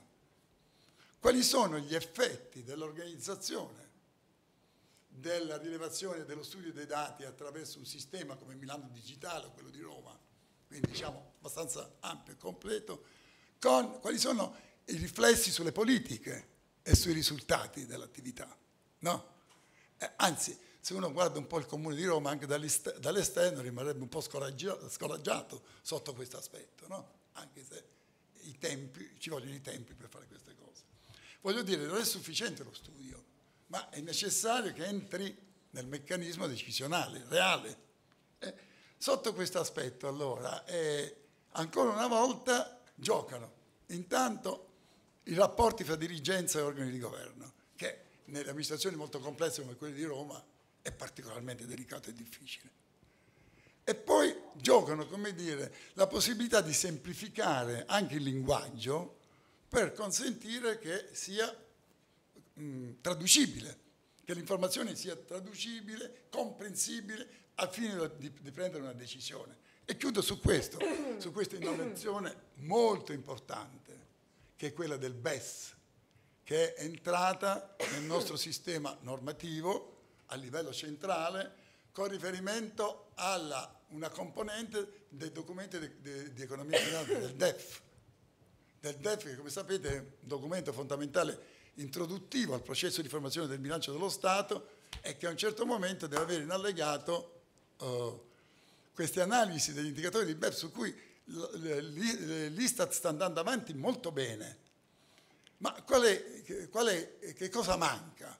Eh, manca questo ulteriore passo, magari mi si dirà un po' di pazienza per arrivarci, cioè che questo studio, queste analisi, questi indicatori, l'individuazione dei 12 domini fondamentali, l'ulteriore sforzo di precisazione deve tradursi in che cosa? In collegamento con le scelte di bilancio. Eh, se noi andiamo a vedere il bilancio dello Stato, ci accorgiamo che le logiche attraverso la formazione del bilancio dello Stato sono completamente diverse, vanno su altri binari, cioè vanno sull'analisi di spese da comprimere nell'ambito del eh, rispetto delle direttive europee saldo, sul saldo strutturale, sul debito e con riferimento alle spese correnti e alle spese di investimento eh, in una logica che è più di contenimento che non di sviluppo. Eh, allora, prima di arrivare addirittura a un rapporto fra il bilancio, per cui è stato inventato il BEP, e la realizzazione almeno muoversi verso quegli indicatori di BES elaborati a livello di ricerca, insomma il passo è ancora da fare, però è quello che vale, altrimenti abbiamo un grosso studio che rimane lì, un grosso studio che ci dice qual è lo stato di benessere attuale e poi non c'è nessun eh, passo ulteriore che ci consente di capire a distanza di tempo che cosa avviene. Finito.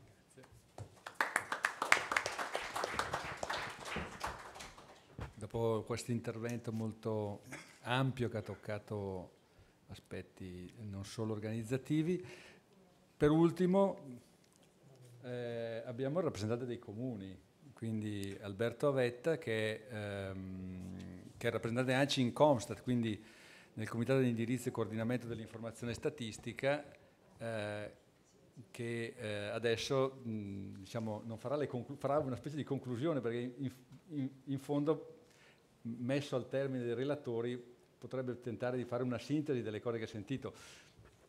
Colle Vecchio ha parlato anche dei comuni più piccoli, che è un tema che so che sta a cuore da Vetta. Eh, qui abbiamo anche i comuni più grandi, quindi abbiamo anche gli estremi eh, del, della dimensione demografica italiana. Prego. Bene, grazie. Intanto buongiorno a tutti. Io ho ascoltato con molto piacere e anche con molto interesse le relazioni che ci sono state e credo che bene ha fatto Marco Trentini a mettere, eh, dire, in contra, non in contrapposizione, insomma mettere in sinergia, ecco, diciamola in positivo, eh, esperienze eh, importanti come quelle della città di Milano della città di Roma, oggettivamente le esperienze, anche fisiologicamente le esperienze più importanti che sono a disposizione di questo Paese e della pubblica amministrazione di questo Paese, come, come ovvio e come anche ovvio da parte nostra, ma doveroso anche da parte, da parte loro, così la dico, la dico tutta, e, e, eh, rispetto appunto alle prospettive che noi ci diamo ehm, nel, nella trasformazione del rapporto che è in atto, Marco Trentini l'ha, detto più volte, mh, nella trasformazione che è in atto nel rapporto tra la pubblica amministrazione locale, in tutte le sue sfaccettature, adesso ci arriverò, ehm, e i dati, e la fruizione dei dati. La pubblica amministrazione oggi si è ampia, l'abbiamo sentito molto bene anche dalle relazioni di oggi, si sta eh, velocemente trasformando. Noi oggi abbiamo ascoltato relazioni che ci indicano le potenzialità, le prospettive, abbiamo ascoltato relazioni come l'ultima del dottor Collevecchio che ci, indica, che ci ha anche individuato quali sono ancora criticità che vanno affrontate. è stato ricordato anche nell'altra relazione di, di, Gamba, c'è un problema di risorse, un problema di, di, di avanzata età nostra, dei nostri dipendenti in generale, c'è un problema dei piccoli comuni, ma ci ci arriverò tentando di essere sintetico e di essere breve. È evidente che siamo passati da una, da una, storia amministrativa in cui la pubblica amministrazione di fatto era un produttore di dati, sostanzialmente, a una pubblica amministrazione che, fruito, che, diventa, che sta diventando sempre più un fruitore di dati, è un, un elaboratore di dati, è un, un, soggetto che attraverso i dati svolge le proprie politiche pubbliche, svolge le, i propri, come dire, adegua e, e, e, rende i propri servizi sempre più ehm, con quell'obiettivo cui faceva riferimento prima la collega Marzano, cioè di eh, arrivare a migliorare, a contribuire al miglioramento della qualità della vita. È un po' ovvio e un po' dire, retorico dirlo, però di fatto questo è il compito della pubblica amministrazione locale. Poi, eh, come dire, lo possiamo tradurre in tanti modi, ma di fatto è quella roba lì, se vogliamo metterlo dentro un quadro complessivo. L'obiettivo nostro è quello di migliorare la qualità della vita delle nostre, delle nostre comunità e vale 360 gradi. Allora dicevo, Siamo passati da una fase in cui c'erano poche pubbliche amministrazioni che avevano questo tipo di sensibilità, eh, ce l'avevano e la sviluppavano perché molti funzionari pubblici, tutti quelli qui presenti sicuramente, avevano questa sensibilità e quindi e magari si univano, dico così un po' casualmente, con la sensibilità di alcuni amministratori, a una fase dal 322 in poi, dal, dal, in cui invece anche dal punto di vista normativo eh, ci si sta più avvicinando, anzi devo dire oggi eh, dal punto di vista normativo siamo arrivati a una fase in cui eh, l'utilizzo dei dati per sviluppare politiche pubbliche sempre più efficienti, economiche ed efficaci è un, una, dire, un presupposto normativo, è un obbligo di legge, mettiamola così.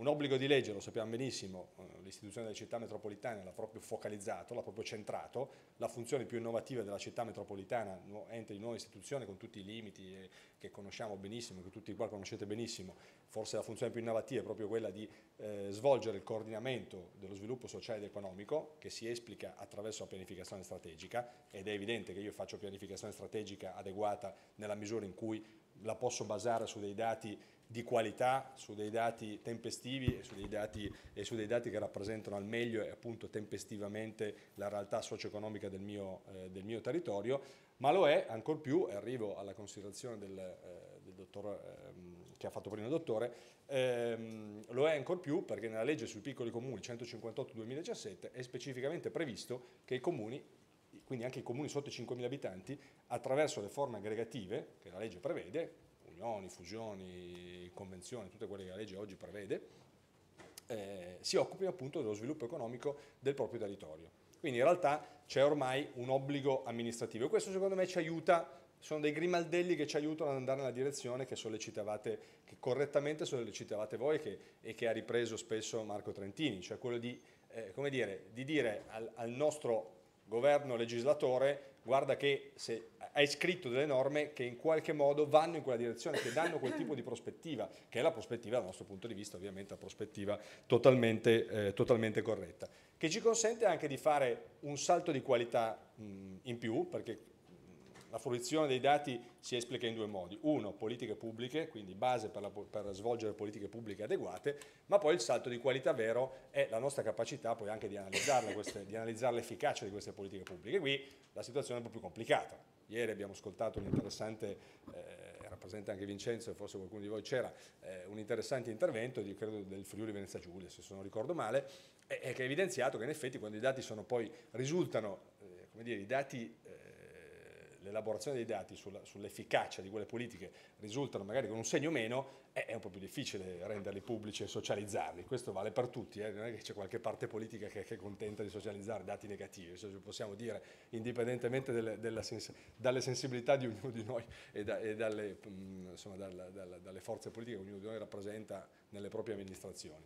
Ed è evidente che questo è un tema ci sono esperienze a livello internazionale che hanno, eh, per esempio, io ricordo, mi sono lavorato in scienza delle finanze e, e ho, ho, fatto la tesi dedicata all'Audit Commission eh, eh inglese, un'esperienza che nasce nel 1983 se non ricordo male, terminata anche lì nel, 2000, nel 2015, però è un'esperienza molto interessante perché l'Audit Commission da noi potrebbe tradursi come la Corte dei Conti, ma in realtà ha due funzioni fondamentali. La prima, quella del controllo contabile, simile al, al nostro, al nostro, alla nostra Corte dei Conti.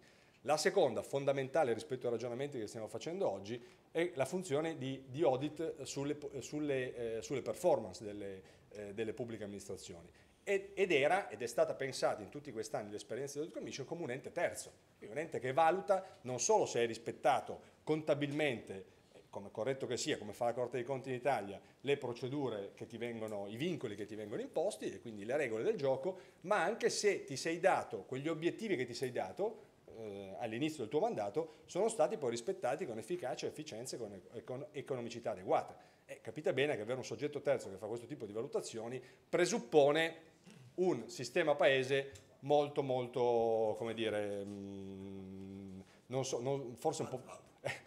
come dire, un, un, sistema paese sensibile forse è, è, è poco, cioè un sistema paese molto, eh, molto maturo, ecco, mettiamolo così, molto maturo che sia nelle condizioni di poter accettare che qualcuno ti faccia una valutazione, che questa valutazione sia resa, sia resa pubblica. Quindi su questo probabilmente dobbiamo, fare, dobbiamo sviluppare ancora eh, un, po più, eh, un po' più di lavoro.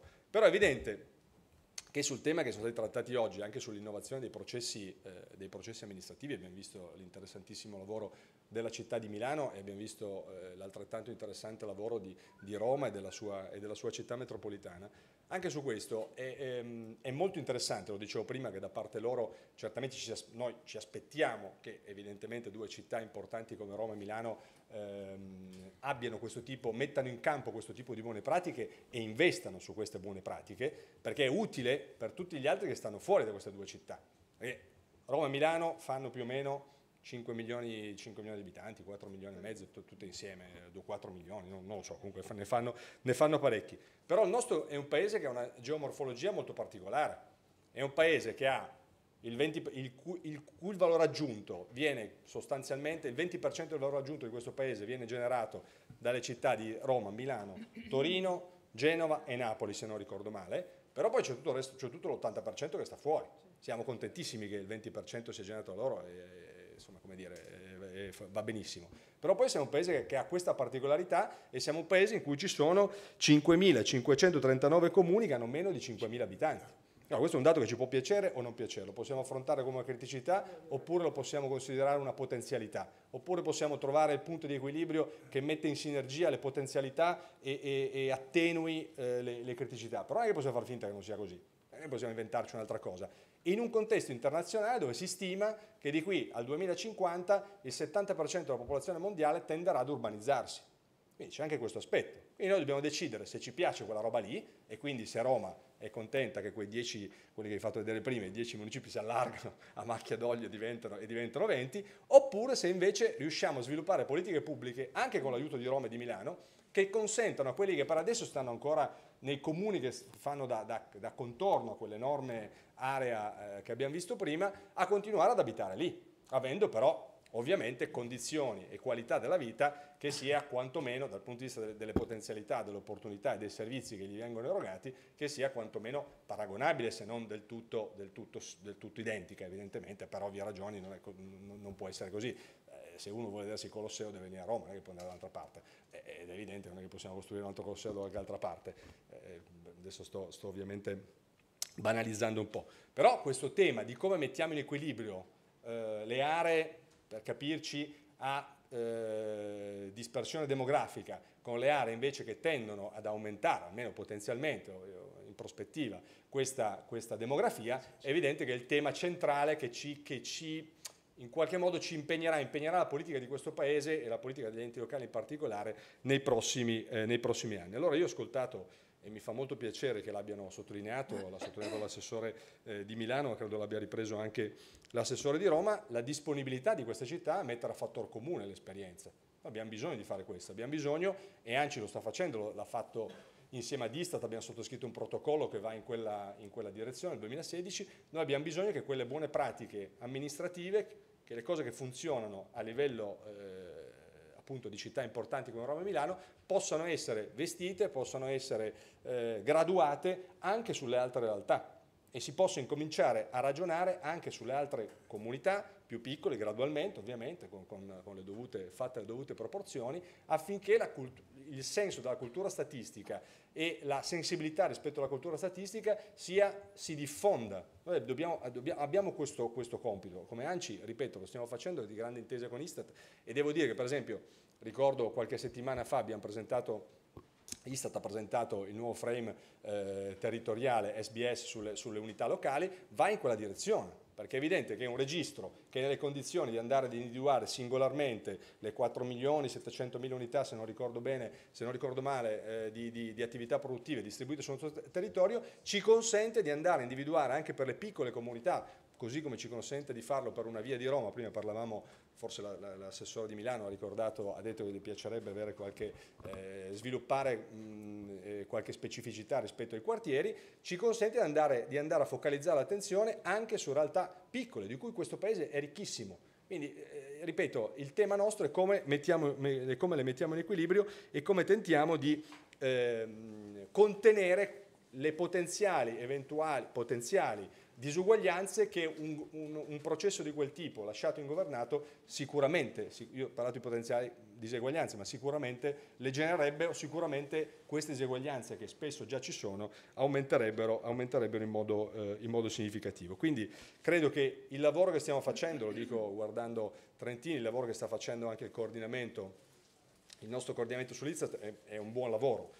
noi eh, questo lavoro di sensibilizzazione lo stiamo facendo con grande, con grande, determinazione e devo dire che c'è sempre più consapevolezza da parte anche degli amministratori dei comuni piccoli e dei comuni medi che il futuro sta lì, il, il futuro sta, a parte che è stato detto e, e, lo voglio ribadire che i dati, la gestione dei dati, l'elaborazione dei dati serve anche per gestire l'ordinaria amministrazione, gestire meglio l'ordinaria amministrazione, ma certamente è fondamentale se noi sempre più acquisiamo e diventiamo consapevoli del, del, ruolo fondamentale degli amministratori, cioè quello di dare un orizzonte alle proprie comunità, di, di sapere dove, volerle, dove, dove, le vogliamo portare le nostre comunità. Non ci basta eh, asfaltare le strade, va benissimo, ma è il minimo sindacale, cioè ci mancherebbe che non asfaltiamo le strade. Il problema è se gli amministratori sono nelle condizioni di contribuire a dare un orizzonte alle proprie comunità.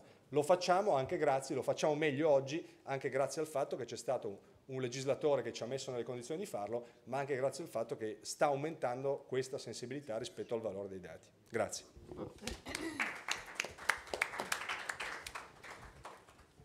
Eh, una battuta, mm, solo una battuta con, con Anci. Eh, come USCI stiamo facendo mm, preparare una, una storia dell'USCI storica, quella eh, c'è, già, già, la prima bozza oggi mentre venivo qua leggevo la prima bozza e mi ha colpito l'intreccio fra USCI e ANCI tra l'USCI storica e l'ANCI storica, diciamo quella pre, pre seconda guerra mondiale, e le vicende un po' più complicate eh, successive. Eh, lo dico perché credo che con, con ANCI dovremmo come USCI fare qualche ragionamento anche un po' più di prospettiva e credo che nei prossimi mesi ci saranno anche varie occasioni. Ehm, prima di chiudere, se, sono, se qualcuno vuole intervenire eh, se si presenta. Eh, sono Tasciotti e sono, sono Tasciotti e mi sono interessato da molti anni alla questione statistica. Essendo laureato in scienze statistiche sono stato presidente dell'Associazione Nazionale Statistici e quindi mi interesso alla riforma del SISTAN.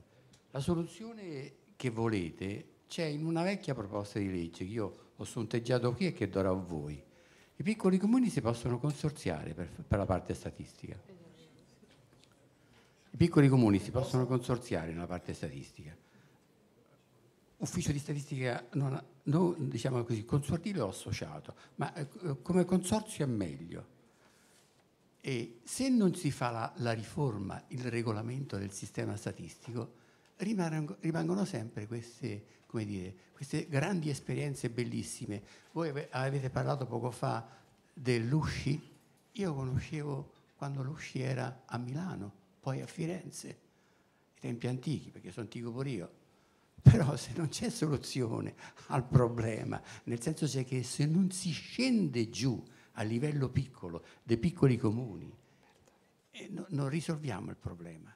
Allora bisogna riqualificare la funzione statistica all'interno dei piccoli comuni, dando, se possibile, energia e forza. Eh, Brunetta aveva detto, quando era ministro della, eh, dell'amministrazione pubblica, di dare almeno il 2% di ogni piccolo ente all'ufficio di statistica. Se poi l'ufficio di statistica in qualche modo si interessa ad andare a vedere come sono stati spesi i soldi nel bilancio, analizzando anche se ex post, per vedere ex ante, tutte le spese fatte in termini di unità di spesa e quant'altro, con il controllo statistico di qualità o controllo statistico di gestione, forse è meglio. Poi dopo, quando eh, voi avete detto che c'è, che c'è il problema, per esempio, di sapere come funziona l'amministrazione, bene, la customer satisfaction si può fare all'esterno, ma si può fare anche all'interno. Cioè voi potete chiedere all'ufficio di statistica di fare la customer satisfaction all'interno, a vedere che cosa propongono i vostri funzionari e dirigenti. Perché altrimenti eh, si danno direttive e no, non sappiamo dove vanno a parare, diciamo così. L'ufficio di statistica può raccogliere tante informazioni.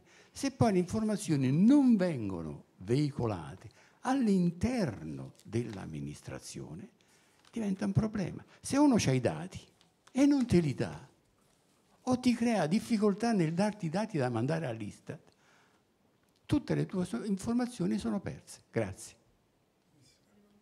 Enzo Lomoro. Ah, ecco. Parla l'Istat Parla l'Istat. Sì, io prima di tutto vorrei dire che questa uh, sessione, quando l'abbiamo immaginata con Trentini, eh, si accoppiava ad un'altra che abbiamo fatto ieri, a cui ha accennato sia Vetta, era presente Bovini, eh, Dominutti della regione Friuli e provincia di eh, Treviso e mi pare basta. e il tema era leggermente diverso ed è importante io vi chiarisca un attimo cosa è successo ieri. Ieri mh, Bovini per Bologna, Dominutti per Friuli e eh, Capica, non mi ricordo il nome, Rapicavoli, Rapicavoli per eh, Treviso ci hanno spiegato un po' cosa avevano fatto, cosa facevano, un po' come ha fatto oggi il dottor Gamba o come credo abbiano fatto a Milano e Roma, non li ho ascoltati. Ma alla fine di quella riunione è intervenuto Roberto Monducci, che è il direttore eh, delle... Ci sta? No, c'è anche qua, oddio, non posso parlare. Allora, Roberto ha spiegato un po' cosa eh, l'idea di quella sessione era proprio questa, eh, cercare di far emergere delle esigenze da parte delle amministrazioni, di alti dirigenti, da direttori delle, che erano, stati o erano direttori dentro le amministrazioni, e, e rispondere con quello che sta per produrre l'istituto.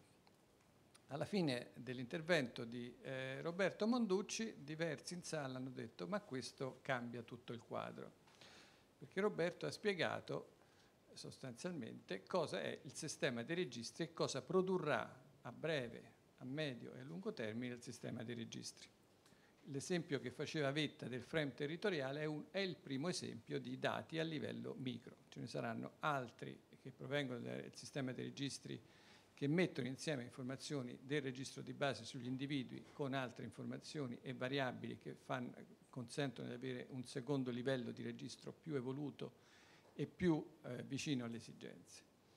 Bene, questo, io, siccome tutte queste presentazioni eh, compresa questa, sono registrate e le potete andare a vedere già da domani, io vi suggerisco di rivedere la presentazione di Roberto Monducci, perché cambia anche un po' le cose che, ci siamo dette, le cose che sono state dette oggi, le abbiamo sentite tante volte, tutto sommato. Cambia anche l'idea che noi avremo degli uffici di statistica. Perché? perché in realtà a un certo punto l'Istat fornirà talmente tante informazioni, tanti dati, il problema che è emerso ieri è stato un, è un, un punto interessante, come, le, come le, le, fornisce, qual è il formato della, della, fornitura, saranno formati standard, saranno formati personalizzati, avremo un, qualche prodotto che potrà essere utilizzato da tutte le amministrazioni o così via, però sostanzialmente saranno tanti dati significativi, miniere in sostanza. Allora, questo tipo di cose cambia un po' l'idea, questo tipo di fornitura cambia un po' l'idea dell'ufficio di statistica, perché a questo punto l'ufficio di statistica sarà prima di tutto un ufficio che deve avere la capacità di analizzare questi dati, di farli parlare meglio di com'è la fornitura immediata del dato.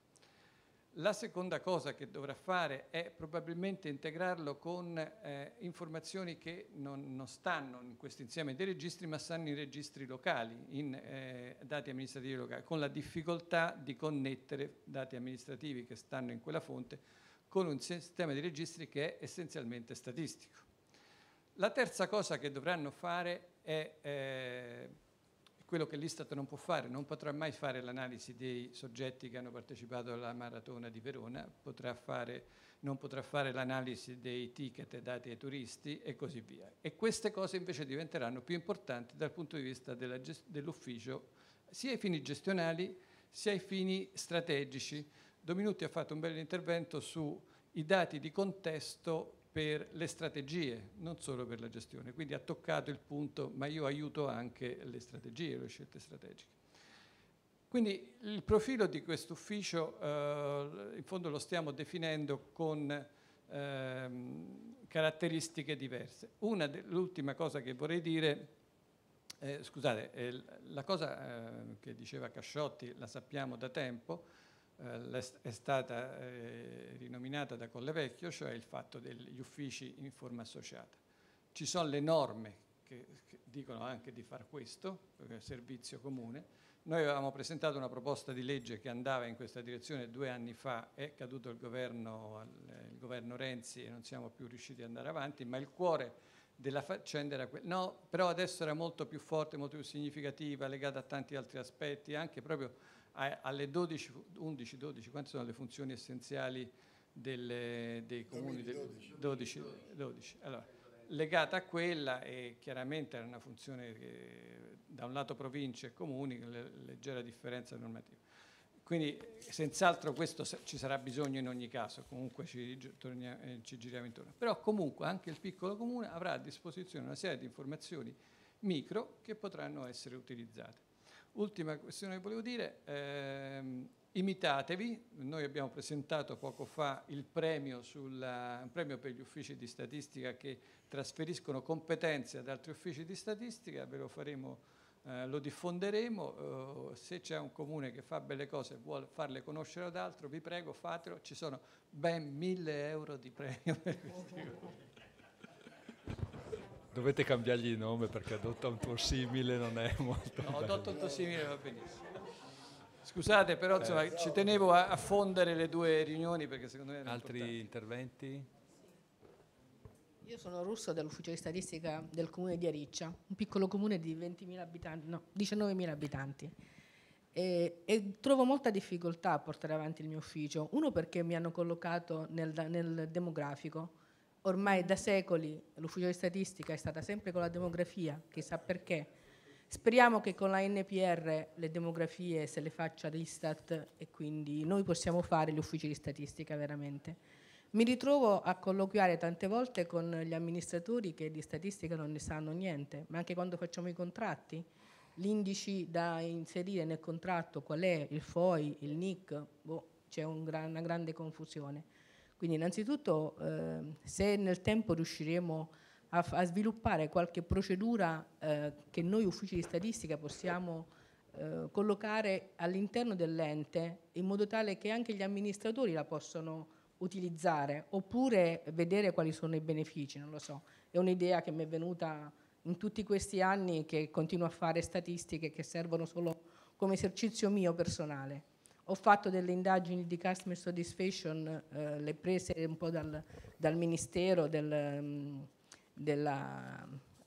Eh, oddio, adesso non, non, mi viene, però insomma ho provato a farle qualcosa, ho distribuito, ma di fatti poi è rimasto terreno morto. Quindi è proprio da sensibilizzare la classe politica noi, eh, dove noi non riusciamo a collocarci e poi ecco da individuare effettivamente dove l'ufficio di statistica deve stare forse da dirlo più a chiare lettere, perché adesso è ancora nel demografico. Simona Concetta, Comune di Terni. Sì. Brevemente no, volevo fare una considerazione. Abbiamo parlato dei comuni piccoli, abbiamo parlato dei comuni grandi. Um, secondo me i problemi più grandi ce l'hanno i comuni medi.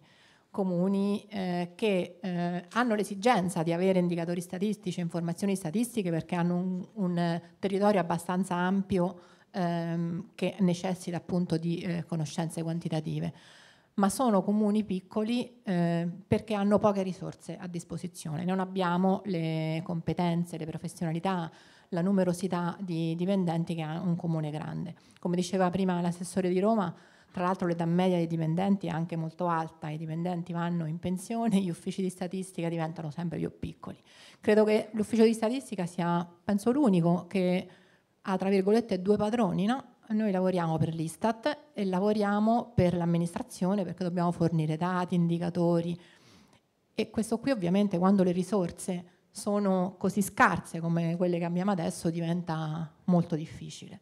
E purtroppo, ne parlavamo prima anche con Lomoro, purtroppo um, il mio comune è il comune di Terni. Mm, diciamo, abbiamo fatto anche lavori interessanti, abbiamo partecipato a Urbes, abbiamo coinvolto ehm, i decisori politici in, in, in Urbes, quindi le, il BES per il territorio e diciamo che abbiamo avuto anche del, del consenso. Però eh, abbiamo creato osservatori mh, mm, sulla situazione locale, collaboriamo con le scuole, insomma devo dire abbiamo portato avanti parecchi, parecchi progetti, sempre ovviamente per buona volontà di chi lavora nell'ufficio di statistica, ma nulla di tutto ciò è stato richiesto dai vertici politici e dei dirigenti, è stata tutta diciamo, una decisione, dal, idee dal basso verso l'alto.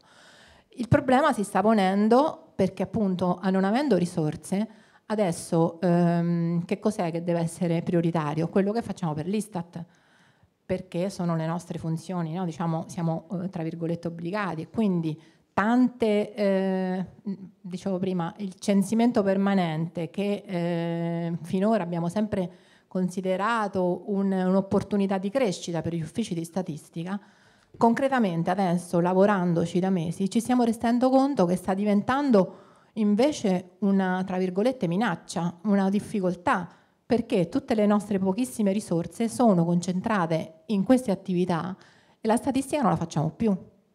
Tanto che per esempio nel nostro comune quest'anno non abbiamo fatto l'osservatorio, non abbiamo, abbiamo dovuto dire di no a progetti con gli studenti e con le scuole. Quindi ecco, il problema principale, sicuramente ANCI in questo dovrebbe aiutarci perché alle conferenze di statistica, forse più che gli statistici dovrebbero venire tutto il resto del comune, no? perché noi tra noi ne sappiamo le cose, gli sono gli altri che non sanno che cosa, che cosa, facciamo, le nostre potenzialità.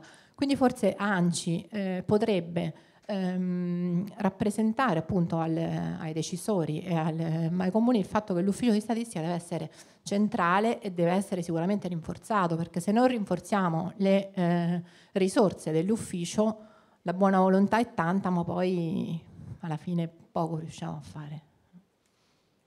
Antonella Caprioli, Roma Capitale. Volevo soltanto aggiungere che abbiamo un problema di personale, quindi anche reperire e fare i bandi per avere il personale che venga ad aiutarci a fare il censimento, sia, sia con i costi che con, eh, con, le attività da fare, purtroppo ci complica la vita, quindi dovremo trovare altre alternative.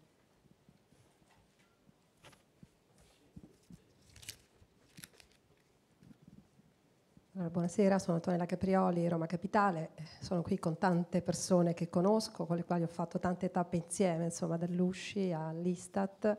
Semplicemente mi sento in dovere intervenire non come Roma Capitale, perché oggi abbiamo avuto l'assessora Marzano, con la quale appunto ho il piacere di collaborare. Sono appunto il direttore del Dipartimento Trasformazione Digitale dal punto di vista organizzativo la funzione oggi è collocata lì ma è migrata più volte in tanti ambiti, quindi quello che è importante appunto è affermarla questa funzione e soprattutto raggiungere quell'obiettivo del DPR 322 dell'89, cioè dal punto di vista dei principi non siamo lontani da lì, però perché ad oggi, come dire, non abbiamo dato effettività a quegli obiettivi e a quelle finalità? Io ritengo che ormai oggi per tutto quello che è successo, da ultimo la riforma Brunetta, che siamo l'ente locale una pubblica amministrazione che eroga servizi, non c'è più dubbio da questo punto di vista. Quindi parlo da dirigente adesso, cioè nel senso che si è affermato tutto, abbiamo tutto, il kit è completo, misuriamo quasi tutto e abbiamo una valanga di dati.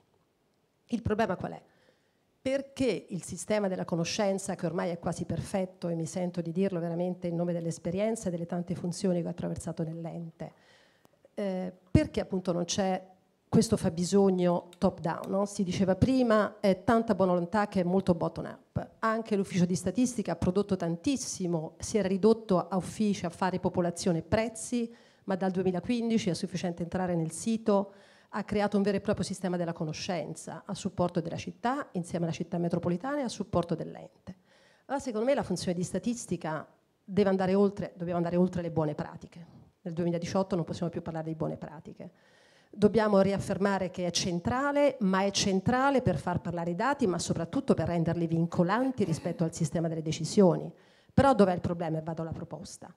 Secondo me ormai tutto quello che ha messo in campo l'Istat e tutto il patrimonio che hanno creato gli uffici di statistica degli 8.000 comuni, abbiamo tutti gli elementi per dimensionare quali sono quelle risorse minime in termini di spesa corrente e di spesa per investimenti per dire quel comune ha le risorse minime per sopravvivere e fare il quotidiano, perché altrimenti parliamo sempre di strategia. E quindi noi il problema che abbiamo con la parte politica è proprio questo, perché giustamente un'amministrazione nuova arriva e vuole fare sviluppo, vuole fare il più uno e a volte per fare il più uno ci vuole più un euro. Allora secondo me la funzione di statistica dovrebbe ormai aiutare a dimensionare qual è l'ambito territoriale ottimale, due, quali sono quelle risorse minime affinché quell'ente possa assolvere alle sue funzioni fondamentali. Dopodiché da lì in poi, come dire, c'è quel più quella parte di sviluppo e la quindi posso implementare. Però questo purtroppo ce l'hanno tolto le ultime finanziarie, specialmente dalla Monti in poi, cioè i comuni non hanno le risorse minime per poter assolvere le funzioni fondamentali. Allora o noi usciamo da questo equivoco o altrimenti noi rischiamo che ogni volta ce la prendiamo con gli uffici di statistica giustamente non adeguatamente dimensionati che producono conoscenza, la conoscenza non ha supporto delle decisioni e quindi ripartiamo dal DPR 322 ovvero per il quale poi era nato il SISTAM come sistema diffuso sul territorio. Allora diamoci questa sfida, dimensioniamo quali sono quelle risorse quella spesa corrente, quella spesa in conto capitale, che poi per i comuni è all'80% spesa del personale, ma anche il dimensionamento, perché il digitale non può fare miracoli, cioè noi comunque abbiamo bisogno di risorse umane. Quindi la mia sfida è questo, i dati ci sono, forse anche troppo, sicuramente il sistema dei registri, il, il rigovernare gli archivi anche amministrativi a livello locale è un passo avanti, ma sostanzialmente noi ci dobbiamo mettere a disposizione come funzione di statistica per far sì che poi la finanziaria non vada da pa- dall'altra parte e faccia brutale spendi review a partire dai comuni in su. Grazie. Eh, sono Paola D'Andrea, provincia di Pesaro Urbino, attualmente presidente del coordinamento degli uffici di statistica delle province, organismo tecnico dell'UPI. E volevo appunto intervenire relativamente, riagganciandomi un po' a quello che aveva detto anche Lomoro, relativamente all'associazionismo tra uffici di statistica.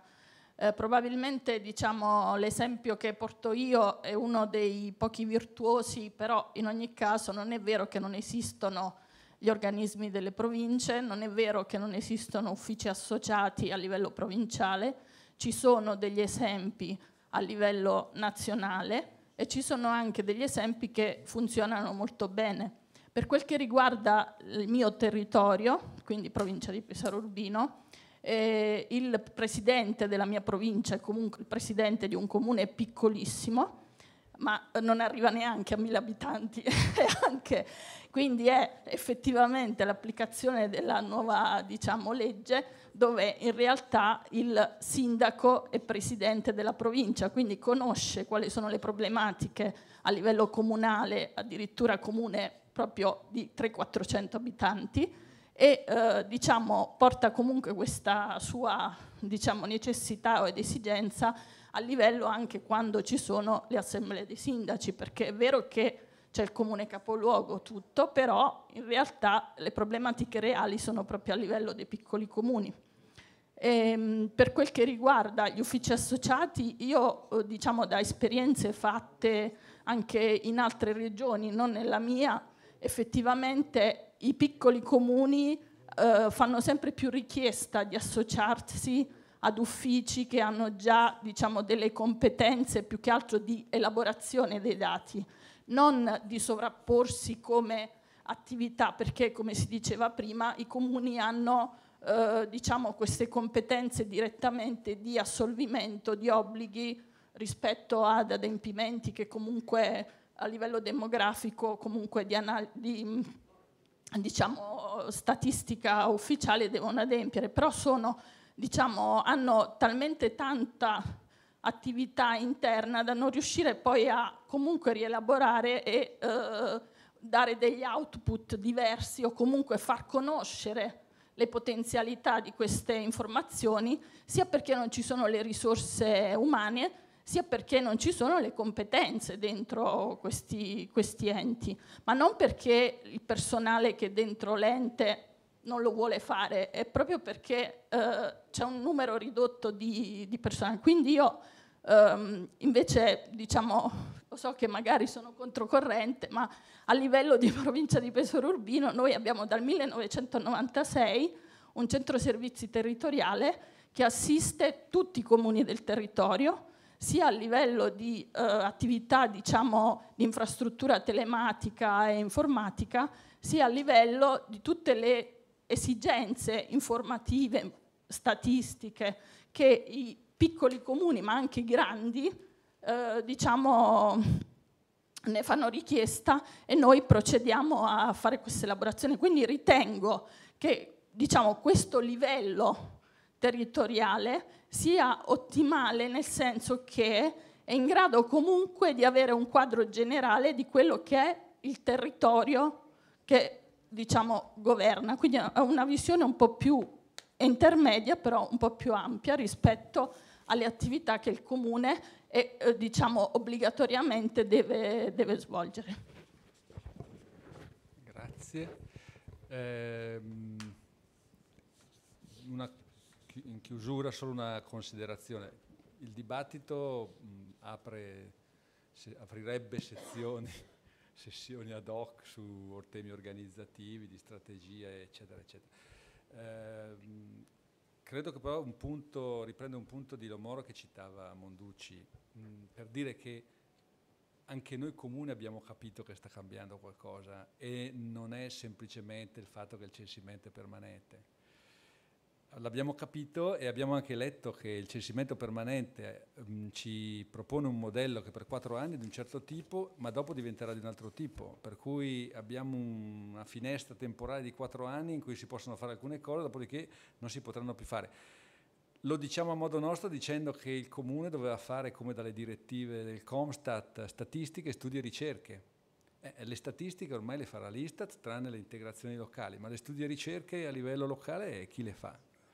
Quindi sono temi che stanno diventando sempre più presenti, i dati del eh, frame territoriale con i dati dei capoluoghi, del PIL scorporato, eccetera, sono, eh, è un'esigenza che il mio sindaco, il mm, sindaco di Brescia, chiedeva da un po' di anni e noi lì ad arrabattarci per cercare di capire cosa c'era in giro, cosa si poteva dare a una richiesta del sindaco mh, mm, eh, per fare proprie valutazioni. Quindi credo che questo è il tema e la sessione di oggi ha dato qualche spunto, sia a livello di politica, no? abbiamo delle strategie molto precise di uno sviluppo della statistica non banale sia di Milano che di Roma, sia della, della parte di Verona, dove abbiamo visto l'uso all'interno della macchina comunale, quindi due aspetti sia in termini di strategia che di aspetti in termini di gestione diciamo, ordinaria della città, ordinaria tra virgolette. Eh, con questo vi ringrazio, eh, arrivederci, ci vedremo prossimamente. Ci vediamo a Bari, speriamo.